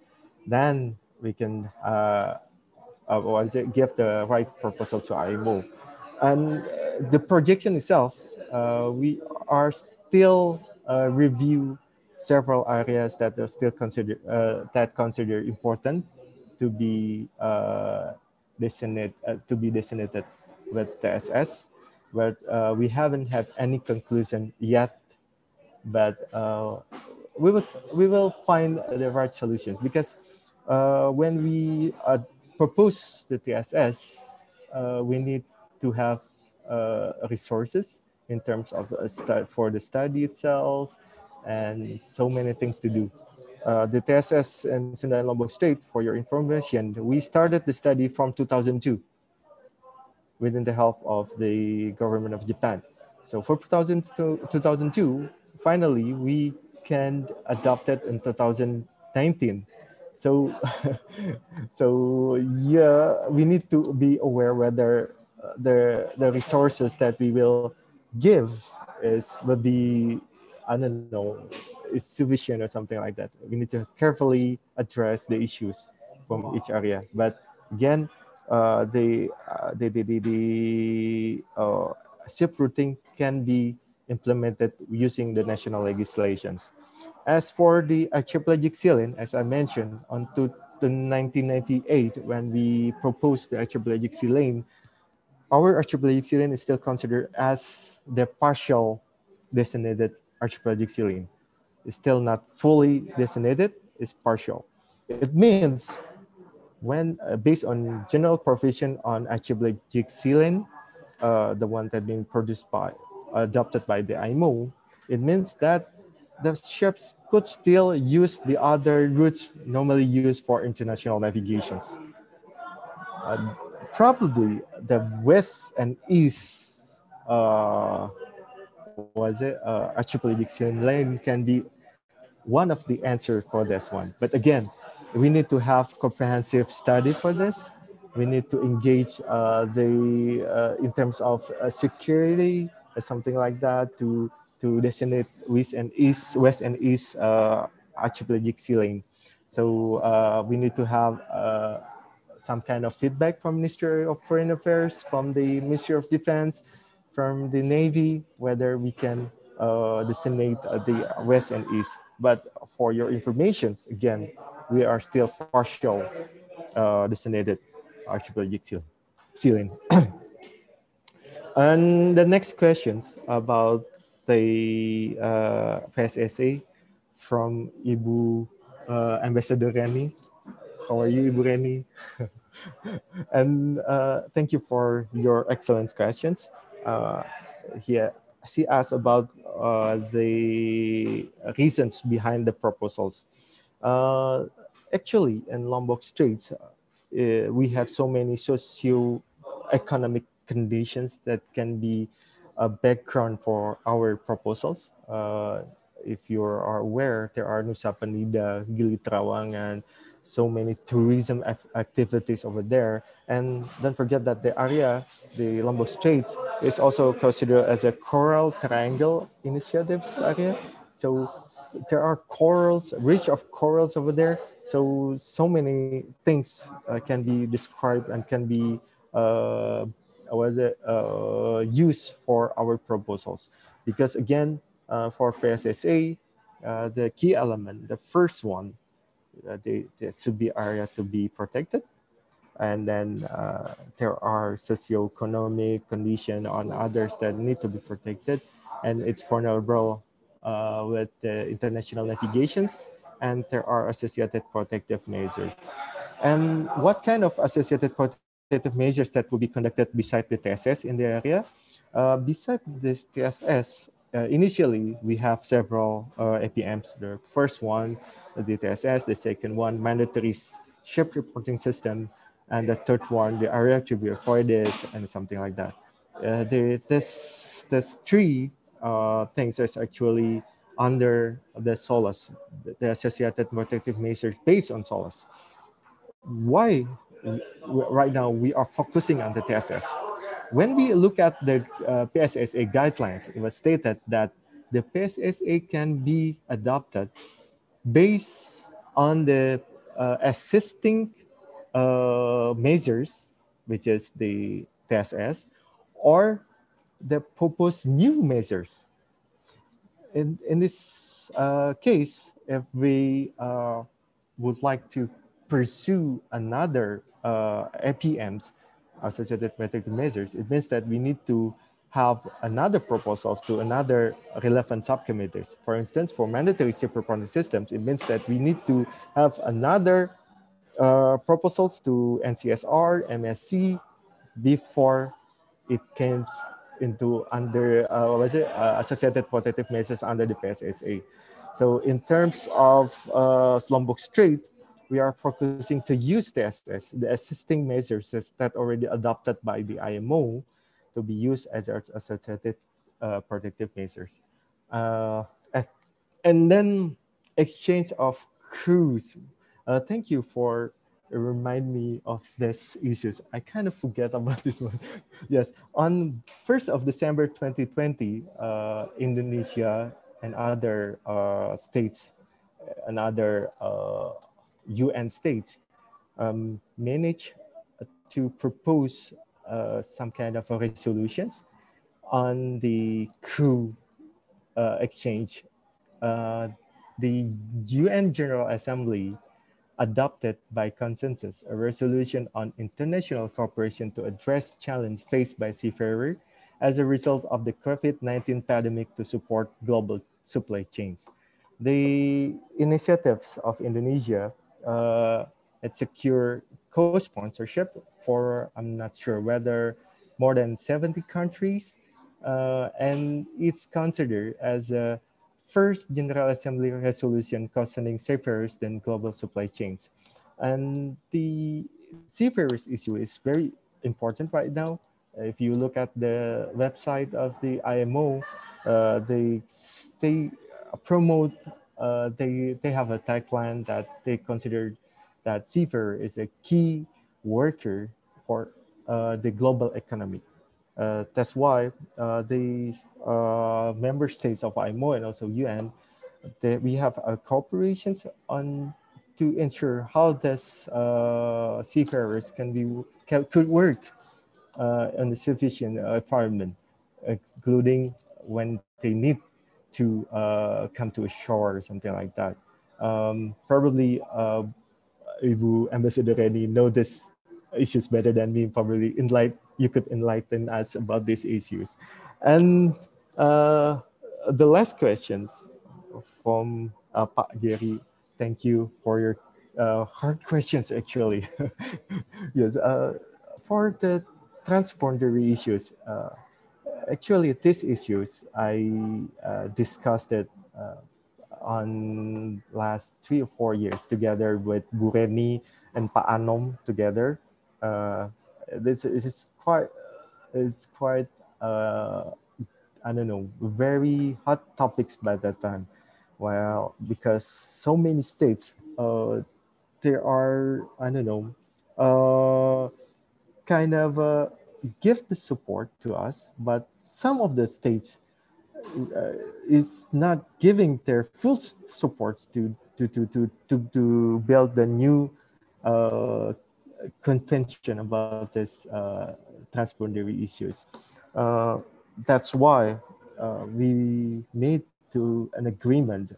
We agree on to develop the regional uh, corporations and bilaterals as a model law to be developed by each state rather than enforcing the conventions that actually needed by the states.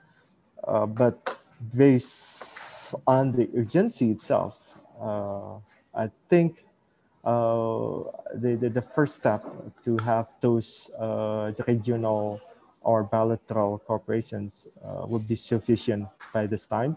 But uh, we are thinking that probably in the future we can explore the possibility to have a more broader uh, participation through the interconventions related with these issues.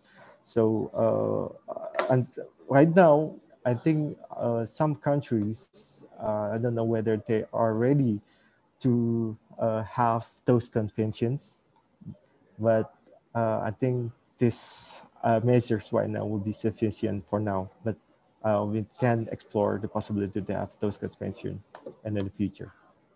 Thank you. Phew. Bor, Bori? All of the questions has been answered for the session first, session one.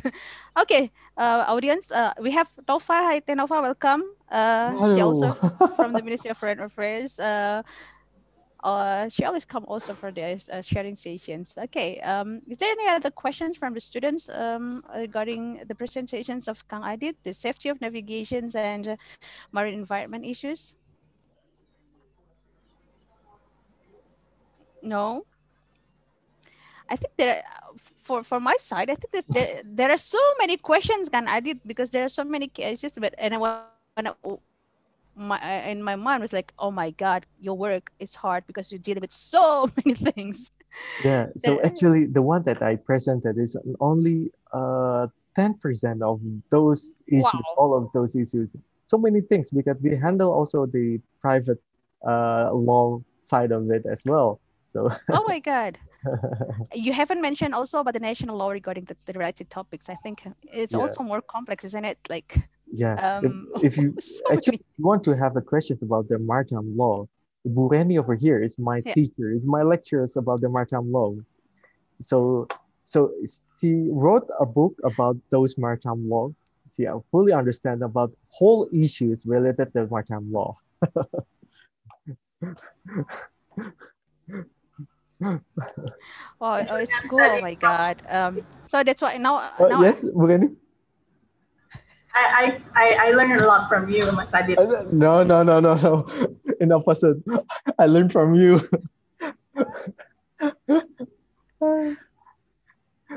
ah, udah deh, rame rame. It's very very nice to have you, uh, Terani. Uh, so we have uh, like a um, more uh, um, uh, insight. Kak Adit, I will talk about this. Uh, I think there are so many issues related to these matters, um, and I do understand uh, there are so many problems within the uh, even within these two areas on the law of the sea. But we have so many things in the law of the sea, and that's why I th- the reason of why our students uh, always proposed uh, the topics of the law of the sea. So it's about like they say, like 90% of the students propose uh, a topic on the law of sea, but unfortunately, the lecturers are collapsed because we have uh, uh, and um, uh, very limited resources. So we uh, unfortunately we have to stop the uh, uh, uh, final um, thesis on regards in regards to the law of the sea because we have no resources, unfortunately. But I do understand it, it, doesn't mean that we have to close the, our research. Um, I think there are a lot of uh, good things that we can also share, also trick the questions to, to the to the uh, to the students for the final exam. Mm-hmm. and I did. Um, I think I my questions are very basic. Maybe, you're, I you're freezing. maybe very basic because not all of the things are questions but comments. Uh, freezing. Yeah, yeah. Yeah. Hello. Okay. Abran. Is that hello? Yeah. Okay. Is it clear? Okay. Okay, I, I, I apologize to all of you because I don't know why today I think the connection is very bad. Uh, I always found um, uh, disconnect or freeze. I thought it would happen yesterday because we talked about Palestine. So I think someone would hack us talking about the Palestine, but it was good. Yeah, but today I don't know. I'm I I am sorry for for, for these technical matters. Um, I'm I'm I'm back to to to to Kang Adit. Kang Adit, uh, I found so many so many uh, very interesting issues to be discussed with the students, and also probably with you um, from the so, so many instruments that you mentioned matters. Um, I cannot say it by one, but there are so many of it. And uh, for example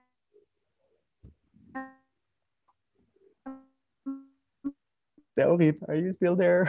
uh, one of my uh, uh, um, but the collisions of the cruise. Like, oh my god! Oh, it's Ben. I'm sorry. I'm sorry. I'm sorry. I, I will try to yeah. fix this. For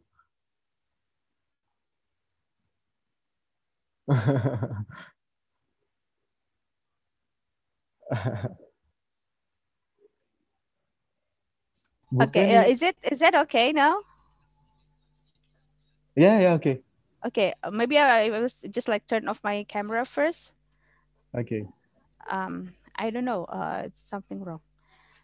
Okay. Uh, Kang Adit, uh, I'd like to uh, ask you about the uh, how's the progress, how's the update of the uh, issues that Mbak Dias uh, mentioned about the the the cruise uh, the the cruise boat uh, which was um, uh, the case of the when the cruise boat um, uh, what was that? Like in Raja Ampat uh, incident the cruise was the was the uh, private company right? So how how how how is the update? How's the how Indonesia's and this uh, uh, um, respond this? Is that any uh, uh, then finally goes to the state uh, state responsibility or is it the, to the corporate responsibility to to to repair all of the damages commit uh, happens in the Raja Ampat envi- uh, sea uh, thank you, Bu Ori, for the questions.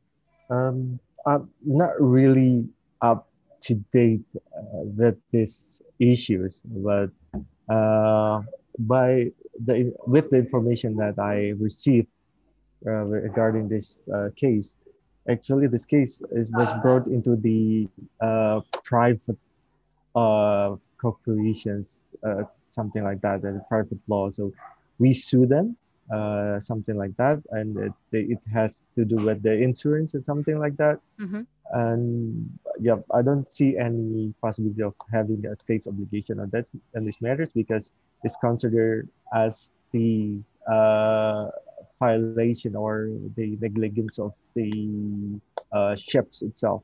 Mm-hmm. So uh, the in this case, the Ministry of Environment is actually the one has become the focal point to, to, to, to dealing with these issues. So they are suing uh, the private company. Uh, I, I'm not sure what 300 million or something like that, based on the uh, the, the, the evidence that they have received, something like that. But uh, I'm not uh, fully informed with this kind of this issues uh, because uh, the the, the uh, trial itself is related with the environment issue. So and then also was brought into the Ministry of Environmental uh, under the Ministry of Environmental focal point, something like that. Okay. but in, I don't know, probably Ambassador Anom or Ambassador Kenny know this information better than me. I think Anom has left because he has something to do. oh, really? Yeah. Um. Yeah. I don't know. He suddenly. Uh, he says he, he'd like to uh, leave the room. But any maybe you have something uh, to share about that uh, case? I, I'm sorry, I'm not really well aware with the, Okay. uh, the developments since I'm not handling the issue anymore. Thank you. Uh, okay yeah that's okay no problem. Uh um i i do remember this this is like some years ago and th- this also was brought to the class so i they i asked uh, to the dispute settlement class i asked them how will they settle the this this dispute will they ask the state responsibility or what? So just uh i just kind of kind of a refreshing but that's okay. But i do uh, i also uh, interesting to the issues of the explorations and exploitations uh, in on the offshore. Um you Kang Adit uh, has mentioned uh, some instruments in regards to that. There's a there's an instrument that um, regulate what uh, should be done if you know the, there's a uh, the, the impact of these explorations has damaging the environment of the sea but Adit, in fact, uh, um, we would I, I'd like to know. We'd like to know how how is it actually work? How, how works? Uh, how is it the implementation actually? Because uh, uh, even though, uh, for example, there's this cooperation between Nigeria and I forget another state. So let's say uh, a state and a state. So there's there is cooperation between two states to do the exploration within the sea. But then. Uh, the, the, the technical matters is given to the third party, which is a, a- a private company and this private company made a mistake so damaging the uh, environment. Who shall be responsible then by the conventions? Is that uh, if the state if, i think uh, it is uh, very obvious. It's international wrongful, act because it violates the, the treaty. But this corporate uh, this private company he's not the party to the to the to the treaty so how how how how, how is it in the practice is it go back to the state who uh, give the work to this private company or is it the private company who shall who shall be responsible for all the damages on the sea Uh, thank you, uh, Bu Orin. So uh, let me uh, state, let me check again. Okay. Uh, regarding of this uh, uh, damage from the offshore facilities, uh, we would like to inform you that actually there are no uh, international conventions that regulating these issues yet. This is the number one uh, issues that need to be addressed. So uh, the one that we promote the Indonesian government, in this case in the IMO, uh, we would like to give the model law to be uh, used for the bilateral or regional corporations. The, the, the, the content of it, we uh, take the principles from others, uh, from the others conventions, but not really related with these offshore activities. It's related with these uh, CLC uh, convention, in case you know that uh, conventions, and a fund convention or something like that. So uh, it has several principles. The first one to be it has the strict liability, something like that, and channeling liability, uh, and then uh, evidence of insurance or other financial security, direct actions against the the insurer, something like that. So uh, I think the most important is we promote that one country has the corporations or regional corporation related with these issues first. Then uh, we can have uh, further technical issues, uh, technical details related to it. Uh, in principles, uh, pays principles will be the best principles. So the uh, private company should responsible for it. So in this case, in the Montara, I think the Montara is responsible to give the compensations, not the states, but the private companies. So yes, I think that, that the principles that taken from the others uh, convention, for example, the CLC and fund convention can be used. And uh, we are promoting to have a regional and uh, bilateral corporations. And I think the uh, polluter pays principles would be the best answer for this Okay, so okay because I, I so I uh, I think I misunderstood. I skip. I thought there was okay, there's already, but it's actually it's a proposal, but it's a proposal because that that is actually what is happening. Yeah? yeah. But have you considered also that the IMO have considered about these issues about the third parties responsibility? Yeah, yeah. So, yeah, uh, so, it's, so it's under uh, our proposal actually when we uh, proposed the model of international conventions that related to it we took the example of the other con uh, conventions that related yeah. to it, and we already took it into consideration about this one. But again, uh, we doesn't have the su enough support from the member yes. states, so it would become uh, the model law for regional and the bilateral agreement yeah i think it's interesting uh, uh, yeah to be to be to be uh, proposed. And yeah we wish that this can be uh, come true. The, the thing is in uh, all of the un agency uh, or, or international organization or in this case international maritime organizations there are several strong private company behind the states itself. Yes so uh, they speak on behalf of the private company. For instance, the US, United States, the uh, the Latino countries, they have a strong uh, what is it a stance on this case. They refuse to have a dedicated international compensation for it. Uh, but I think Bu Reni, could you enlighten us because he's the one who she's the one who draft all this model law actually. Wow, cool. Please, if you don't mind. actually not the model, but actually in back in 2012 when we first uh, proposed the uh, transboundary oil pollution um, resulting from uh, oil spill active, uh, sorry, oil oil rigs activities. Um, I forgot the, the name. And we were actually uh, aiming for a new international regime uh, conventions. However, uh, there are still many uh, countries that is against the concept because actually they are like what Adit said before that uh, the IMO was actually quite uh, separate in their their opinions whether they are uh, whether the issue could be discussed in the IMO since it it is not since the oil rig is not considered as a ship and then also that uh, whether uh, how far is the uh, how far is the IMO could uh, deal with that, and uh, as as what Wadi said that there are actually several uh, conventions that has been dealing with that. Especially one of it is oil preparedness convention.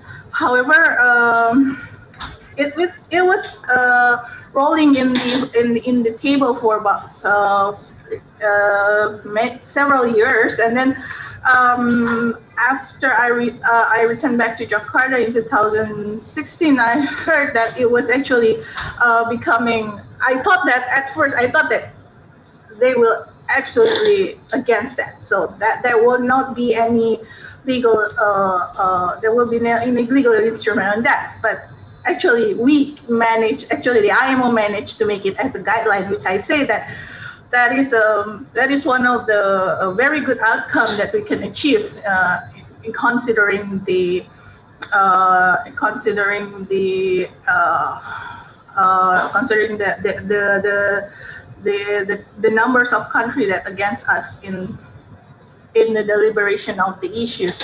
So I was quite surprised, and I was also happy. At least uh, Indonesia has managed to put into something uh, as a reference for the next international uh, in international maritime law, or at least uh, maybe of the further for inter international law of the sea.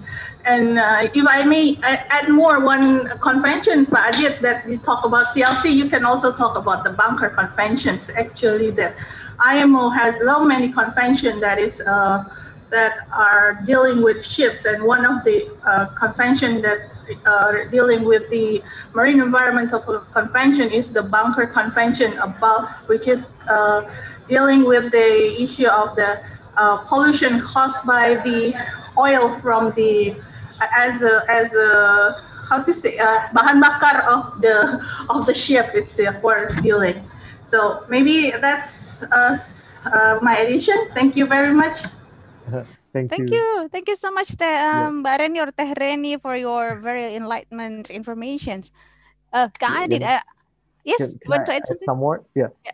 So uh, before the discussion about this new regime comes in uh, on the 2010, if not mistaken, there are questions actually. Uh, does IMO has mandate and jurisdiction to develop the new international regime on liability and compensation for oil damage Mhm. uh, resulting from those uh, explorations?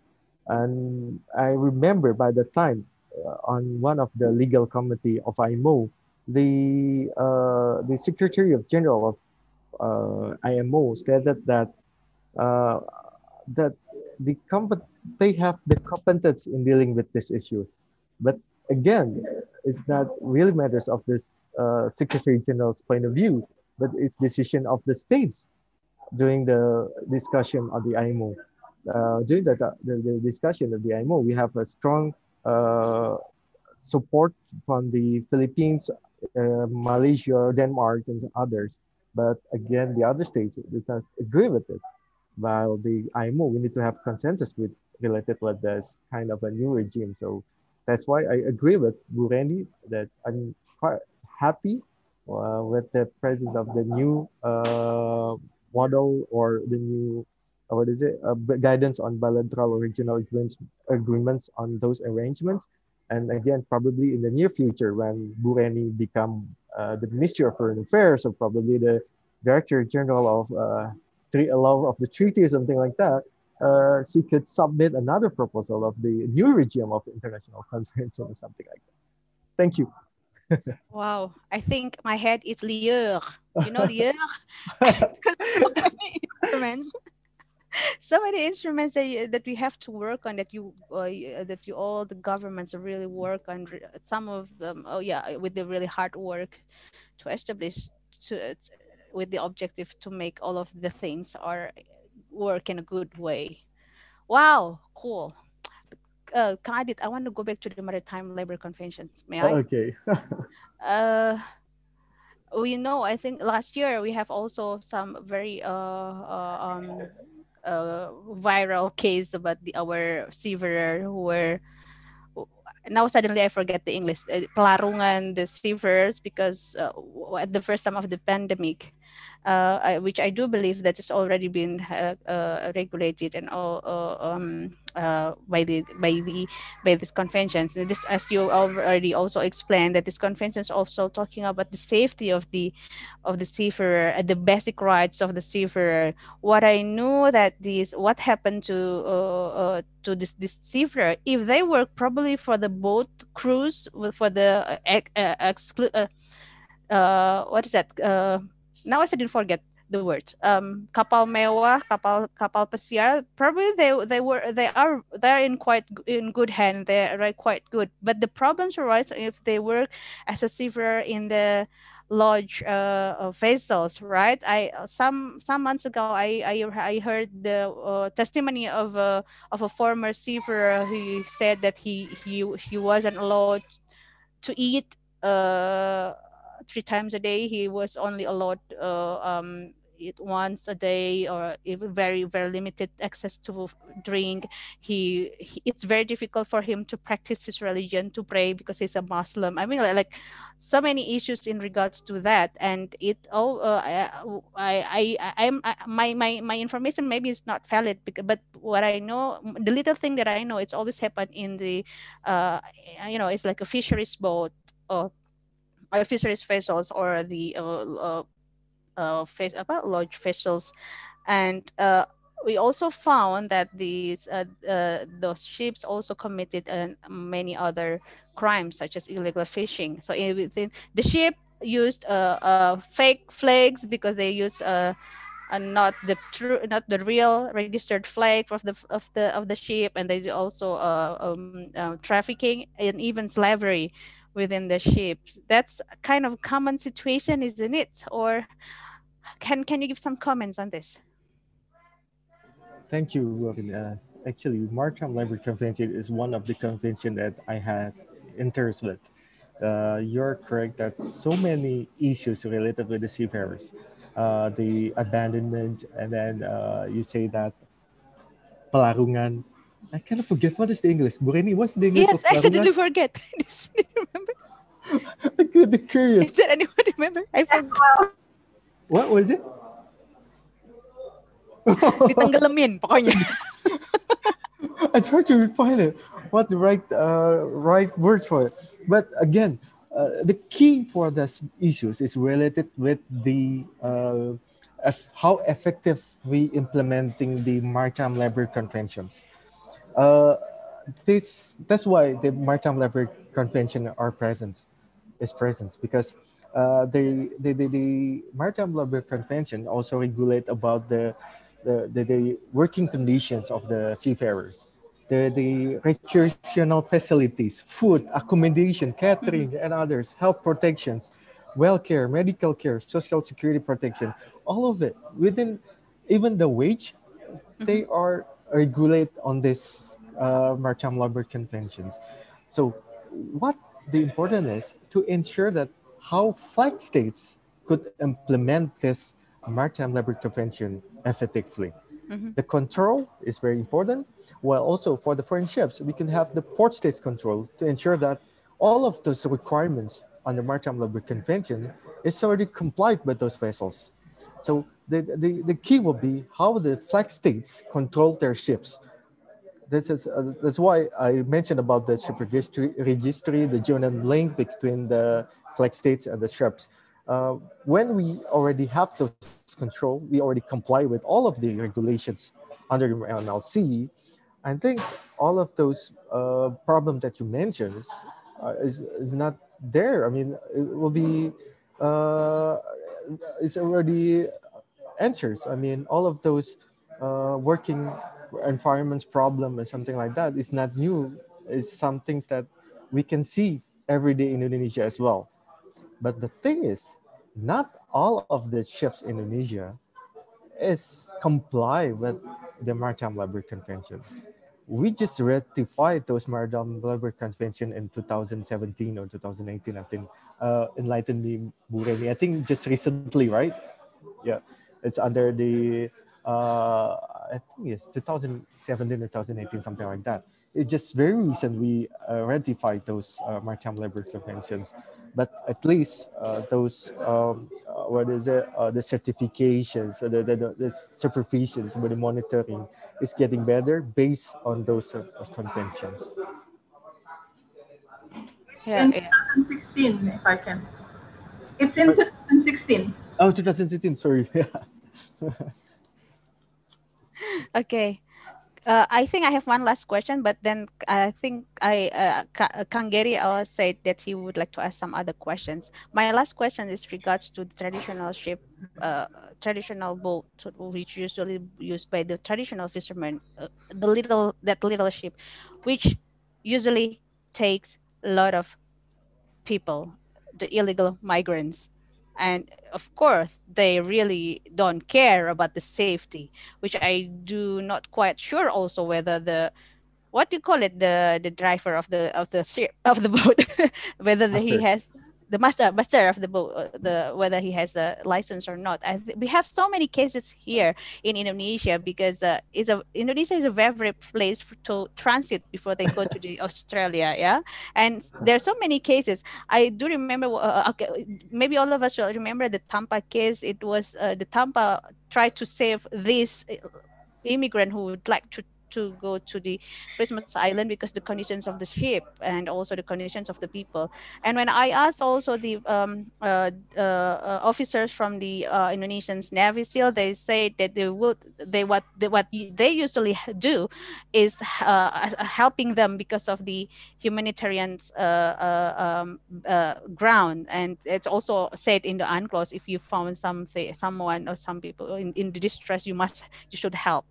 But that, how, how this actually the the policy of the Ministry of the um, Transportation in regards to this issue? With, this is, I think, your area, Kang Adit. Uh, thank you, uh, Bu Orin. I think it does, that's not necessarily our own issues right now yes. regarding these issues, because uh, I remember when we are dealing with these issues, uh, we have cooperation as well with the Ministry of Foreign Affairs, with uh, the fisheries agency or something like that. So it, it does not only concern with our uh, task or something like that. But uh, by the way we see it's related with the ship safety first. Uh, the non-convention, we say that as a non-convention because when we say the, the convention vessel, the SOLAS vessel, all of the equipments, all of the certifications, all of the life-saving appliances already there. Uh, the substandard vessels, this uh, non-convention vessel, does not equip with the life-saving appliance and others.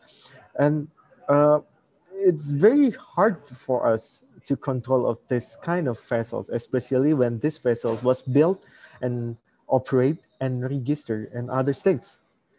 In this case, when uh, you're saying about the refugees, uh, they are traditional vessels that being used to navigate to the other uh, waters to go to another uh, countries to have a better life probably. Uh, the, from the uh, safety perspective, of course, we cannot accept these conditions. The, but the thing is, it happens. Even in our flags of registry, so many uh, traditional ships does not is not registered yet. The, the, the, the national, uh, the the uh, traditional shops. So uh, what we're trying to do is right now, we're trying to make them to register their vessels, to educate them, the, the, the seafarer, how to uh, to be a better seafarer, something like that, uh, to have better understand, understanding on the safety side of it. And uh, about the refugees itself, uh, of course, in the humanitarian aspects, we need to help them of course, about uh, but in terms of safety, if those ships come into our ports, we will detain them. We will say that this vessel cannot uh, sail another country state uh, ports because uh, based on the SOLAS, uh, when ships uh, when foreign ground, uh, foreign ground ships navigate to another country, they need to have those certificates based on SOLAS. Uh, that's why there's uh, traditional ships, there are illegal ships. They're non-traditional, uh, there are traditional ships that it's hard for us to control them. But I think in uh, humanitarian aspects, we need to have obligation to help them. You're correct. But uh, our policy, we are helping them, but uh, I'm not sure whether uh, we can prevent them because they're coming from other states. Yes, it's a trans-organized crimes. That's yeah. to. Yeah, what, what can we do is just like yes, basically we have to educate them because what happened, what we see on the, in field. Gary also part of my team working with yeah. this. Even the officers, they know, but just oh yes, I heard, but not really know about this. Uh, the fishermen, the the the the, the societies, they not quite understand I think yes, it's very important for us to educate the people. Okay, yeah. I think uh, can we just go to Gary to to, to the next questions? Maybe yeah. last question regarding the matter, the substantial matters. Yeah, th thank you very much for another opportunity to ask question. Um, Kang, um, since uh, you have um, you have made a point about um, law enforcement relating to transnational or trans-organized crime, I want to go back to environmental law issue. Um, and this is i think i believe there is a relation between environmental protection especially in marine environment to law enforcement and law supervision super, uh, supervision and according to uh, that point um, can you elaborate more about what uh, about how united nations convention on law of the sea and also imo convention giving um, give um, coastal state port state um, also flag state jurisdiction to let's say uh, enforcing uh, uh, make a law make their law enforcement forces uh, prevent or criminalize uh, the the doer of uh, marine pollution. Thank you kang. Thank you. Kang Giri, for your very comprehensive questions about these issues. So uh, the, the, the most important one about the marine environmental protection based on UNCLOS, that uh, the UNCLOS clearly stated that we need to uh, prevent and we need to uh, promote the, the, the, the, marine environmental protection and we need to cooperate with other states in terms of the uh, marine environmental protection. That's the first key and then how we uh, enforce that with so many uh, with so many legal instruments of label and IMO, in, in, particular like MARPOL, something like that. The, the, the, important part of it is the roles of the flag states and the port states to control all the vessels.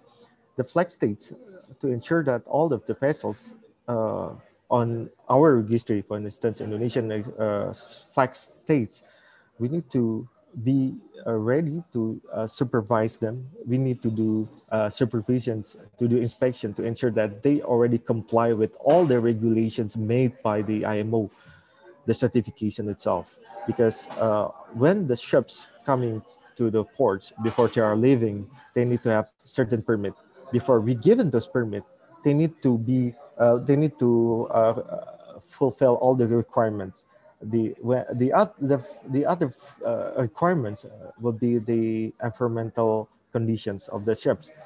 So uh, the marine inspector, the marine surveyor, will check whether the ships already comply with this vessels. That's the flag states, and then comes into the port states. When the come when the ships, foreign ships come to our uh, ports, based on those certification, we'll check the port state control officer will check whether all of those aspects uh, already comply. Does the the one that being uh, certified by the ships, uh, by the flag states, is present, is there. I mean, it's available.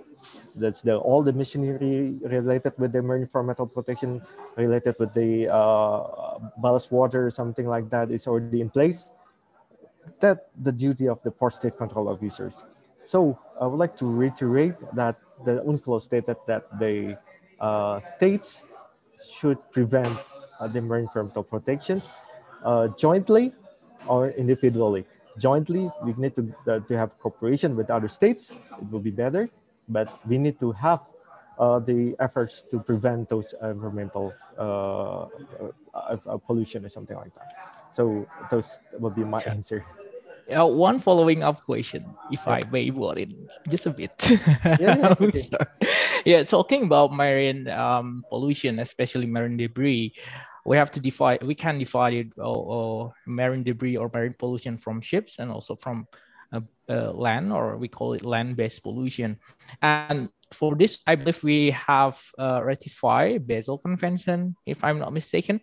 Um, the question is how how how uh, how uh, Indonesia uh, incorporate this, you, you know, like connected uh, the, the enforcement, the supervision, and also the regulation between land-based and also marine-based pollution? Oh, okay. Uh, that is hard questions. I mean, uh, usually I'm working from the ship side of the uh, environmental impact from the ship side. I mean, I'm not uh, fully aware about the convention that you mentioned about uh, about the land-based uh, what is it uh, pollution or something like that. But uh, again, I think the provision of the UNCLOS is quite clear. When uh, the UNCLOS requires all states to protect and preserve the marine environment regardless its conventions itself, the, whether the IMO and others conventions, uh, I know they have their technical, uh, what is it, uh, regulation about the, the certain issues. However, the provisions of the uh, UNCLOS is quite clear that we need to re requires to protect and preserve the marine environment. And uh, the, the, the initiatives should come for us, whether we need we want to have our clean oceans, whether we would like to have a better life in the future for our children. That's the, the, the questions. Regardless of the conventions, I think that's the key principles is how we can put the environmental issues into the priority. So uh, we can put into considerations for uh, the society, the importance of uh, keeping all the garbage away from the sea. So we don't want to see that the Kuta beach surrounded by the garbage. Then they, they are accusing that it comes from the ships, that it actually comes from the land base. So again, uh, I think the initiative should need comes uh, should comes from us first to ensure that their ocean is clean and can be uh, used for our future generations. Wow, my answers. Well, it's very very interesting discussion. I think we have still a lot of things to discuss, but it's 1.30 already. Oh really? my god. Yes. Uh, really? wow. Yes, it's 1.30. We're running out of time. I think we need to have some more other special uh, uh, uh, sessions on the particular issues ya, Kang Adit, Kang Geri, yeah. Teh Reni. Maybe we will invite Kang, Re uh, Kang Reni, sorry, Teh Reni, and also Mbak Dias also. Yeah. We'll think about it. Uh, let's see the schedule because we are very busy. Oh, I'm just kidding. well, Kang I think I need to uh, uh, uh, I, uh, one, one, one sentence to conclude that how uh, the it is the state control how to see the, how the implementation of those international regulations, yeah, um, including into what happened in the field. Kang Adit, because this is sharing sessions, I, I need your closing remark as to motivate the students here to be like you, or you are very uh, you're you're kind of such inspirations for all the students with all with your presentations and all your achievement. Please, Kang Adit. Uh, thank you, uh, uh, Bu Orin, for your uh, uh, what is it uh, statement. Again, I would like to invite all of the students over here to explore of the maritime law. The maritime law is not only related with the law of the sea. So many things over there. You need to burden uh, your knowledge itself, then you know what areas that you had interest with, you have interest with. For instance, uh, probably you, uh, if you have interest with the public uh, maritime law, then you find that marine insurance is suitable for you, something like that. So the thing is, uh, don't focus only on of the sea itself. So many conventions out there, so many problems, so many issues out there you need to develop yourself, take the issues, take the statistics, statistical numbers or something like that to be your guidance or something like that. Discuss it uh, and uh, with us probably. I open my door for you. I will give my email and Bu Orin could give your, I'll give my number to all of the students if necessary. So if you want to have uh, further discussions about the um, marine environmental issues, the safety of navigations, please come to us. And I think Bu Reni uh, is an expert as well. If you are aware, she's also wrote a book related to the maritime law. Wow. Yeah, so so many things. So, and and I would like to encourage all of you to work and other ministry aside of Ministry of Foreign Affairs. yes, yes. So in fact, in fact, Pak Adit also working with the international law uh, related issues somehow, yeah. Somehow, because uh, because there's uh, sometimes uh, I don't know. Uh, some say that the international issues can only be discussed on the Ministry of Foreign Affairs, but in fact, in our technical ministries, we are dealing with this kind of issues as, as well. So we need your I don't know, uh, assistants to join Yes. us. Come on, please, please come. and then uh. I would like to encourage you to join. Uh, there are two institutions under the International Maritime Organizations. The first one, the International Maritime Law Institute, is where uh, Ibu Reni graduated for, from. Uh, it's a very good uh, maritime institute related with the maritime law. And the other one, the World Maritime University, and they provide also the maritime law and policy program. So uh, encourage you to join those two institutions because if you have interest with the maritime law and policy and love the sea because they're providing us uh, very good resources to help you to grow to further your knowledge i think Wow. that's it for me Cool. And there's also scholarship for uh scholarship for that, yeah, Kang Yeah. Adit. Bu Reni will help with that I think we will have next session on the scholarships on how to get to maritime institute. If you're interested to know more about the uh, International Maritime Law Institute, you can contact me, and uh, uh, they, they provide the scholarship as well, like what uh, World Maritime University, where uh, Pak Adit uh, get his uh, graduates. Thank you.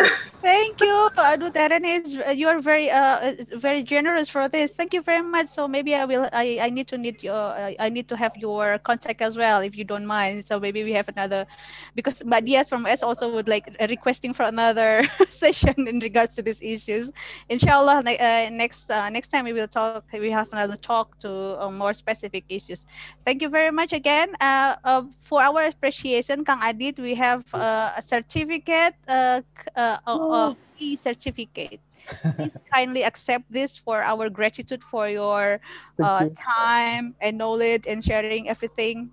Uh, God will pay you this. Waduh, thank kayak you mau ngancem ya, God will pay you this. can we can we take a picture all of Are us you sure? And we, ha- we will have a, um, a photo session. Uh, please turn on your camera, uh, all of the participants. This is our last. Uh, I, I I promise this is our last time, our last session, our last minute. Please turn on your camera. So and Rere will take the uh, comments on this. Rere, please. Thank you, Bu Orin. Ladies and gentlemen, please activate your cameras. We are going to have a photo session together in three, two, and one. All right, one more time. Three, two, one. Thank you very much. Thank you very much, Thank you, Rere. Thank you again uh, for Kang Adit, Teh Reni, all of the participants and Thank all of the students. I hope you, uh, Kang Geri, I hope you all get the more uh, enlightenment in regards to this. I hope you get more curious, and please do not give, uh, do not uh, feel frustrated. Oh, there are a lot of issues I want to, uh, I want to investigate wi- with for my thesis, but the department said, you know, for international law, don't worry, be happy. We still have final exam. So if you have one, if you have some idea, we have journals. Kang Adit, Teh Reni, uh, we welcome you, Mbak Dias, to write in our journal, Padjadjaran Journal of International Law. If some, uh, if, if you have something to share with us, please uh, drop us uh, your articles. Uh, and please visit our website, PJIL. Uh, and again, thank you very much. I, oh, sorry. Um, please uh, join us again tomorrow, not tomorrow, uh, the day after tomorrow, which is Thursday at 2 p.m. We will discuss about Myanmar coup d'etat from the perspective of the ASEAN, Indonesian government, and also the academics, uh, academicians. We will have Mbak Yuyun from ASEAN Intergovernmental Commissions of Human Rights. We will have Pak Abdul Kadir Jailani from the Ministry of Foreign Affairs, and Professor Cees Flinterman from the Utrecht and Maastricht University. So please join us again on the same link. And uh, if you don't have, uh, if you cannot uh, um, attend, um, sorry, if you don't have any space to come because uh, um, uh, we're afraid that it will be full house like yesterday. So you can also visit our our YouTube channel. You can also, for those who just uh, join these uh, sessions uh, in the middle, you can also rewind the, our sessions, our discussion from our YouTube channel. Thank you very much again. Assalamualaikum warahmatullahi wabarakatuh. Selamat siang. Selamat siang. Bye-bye.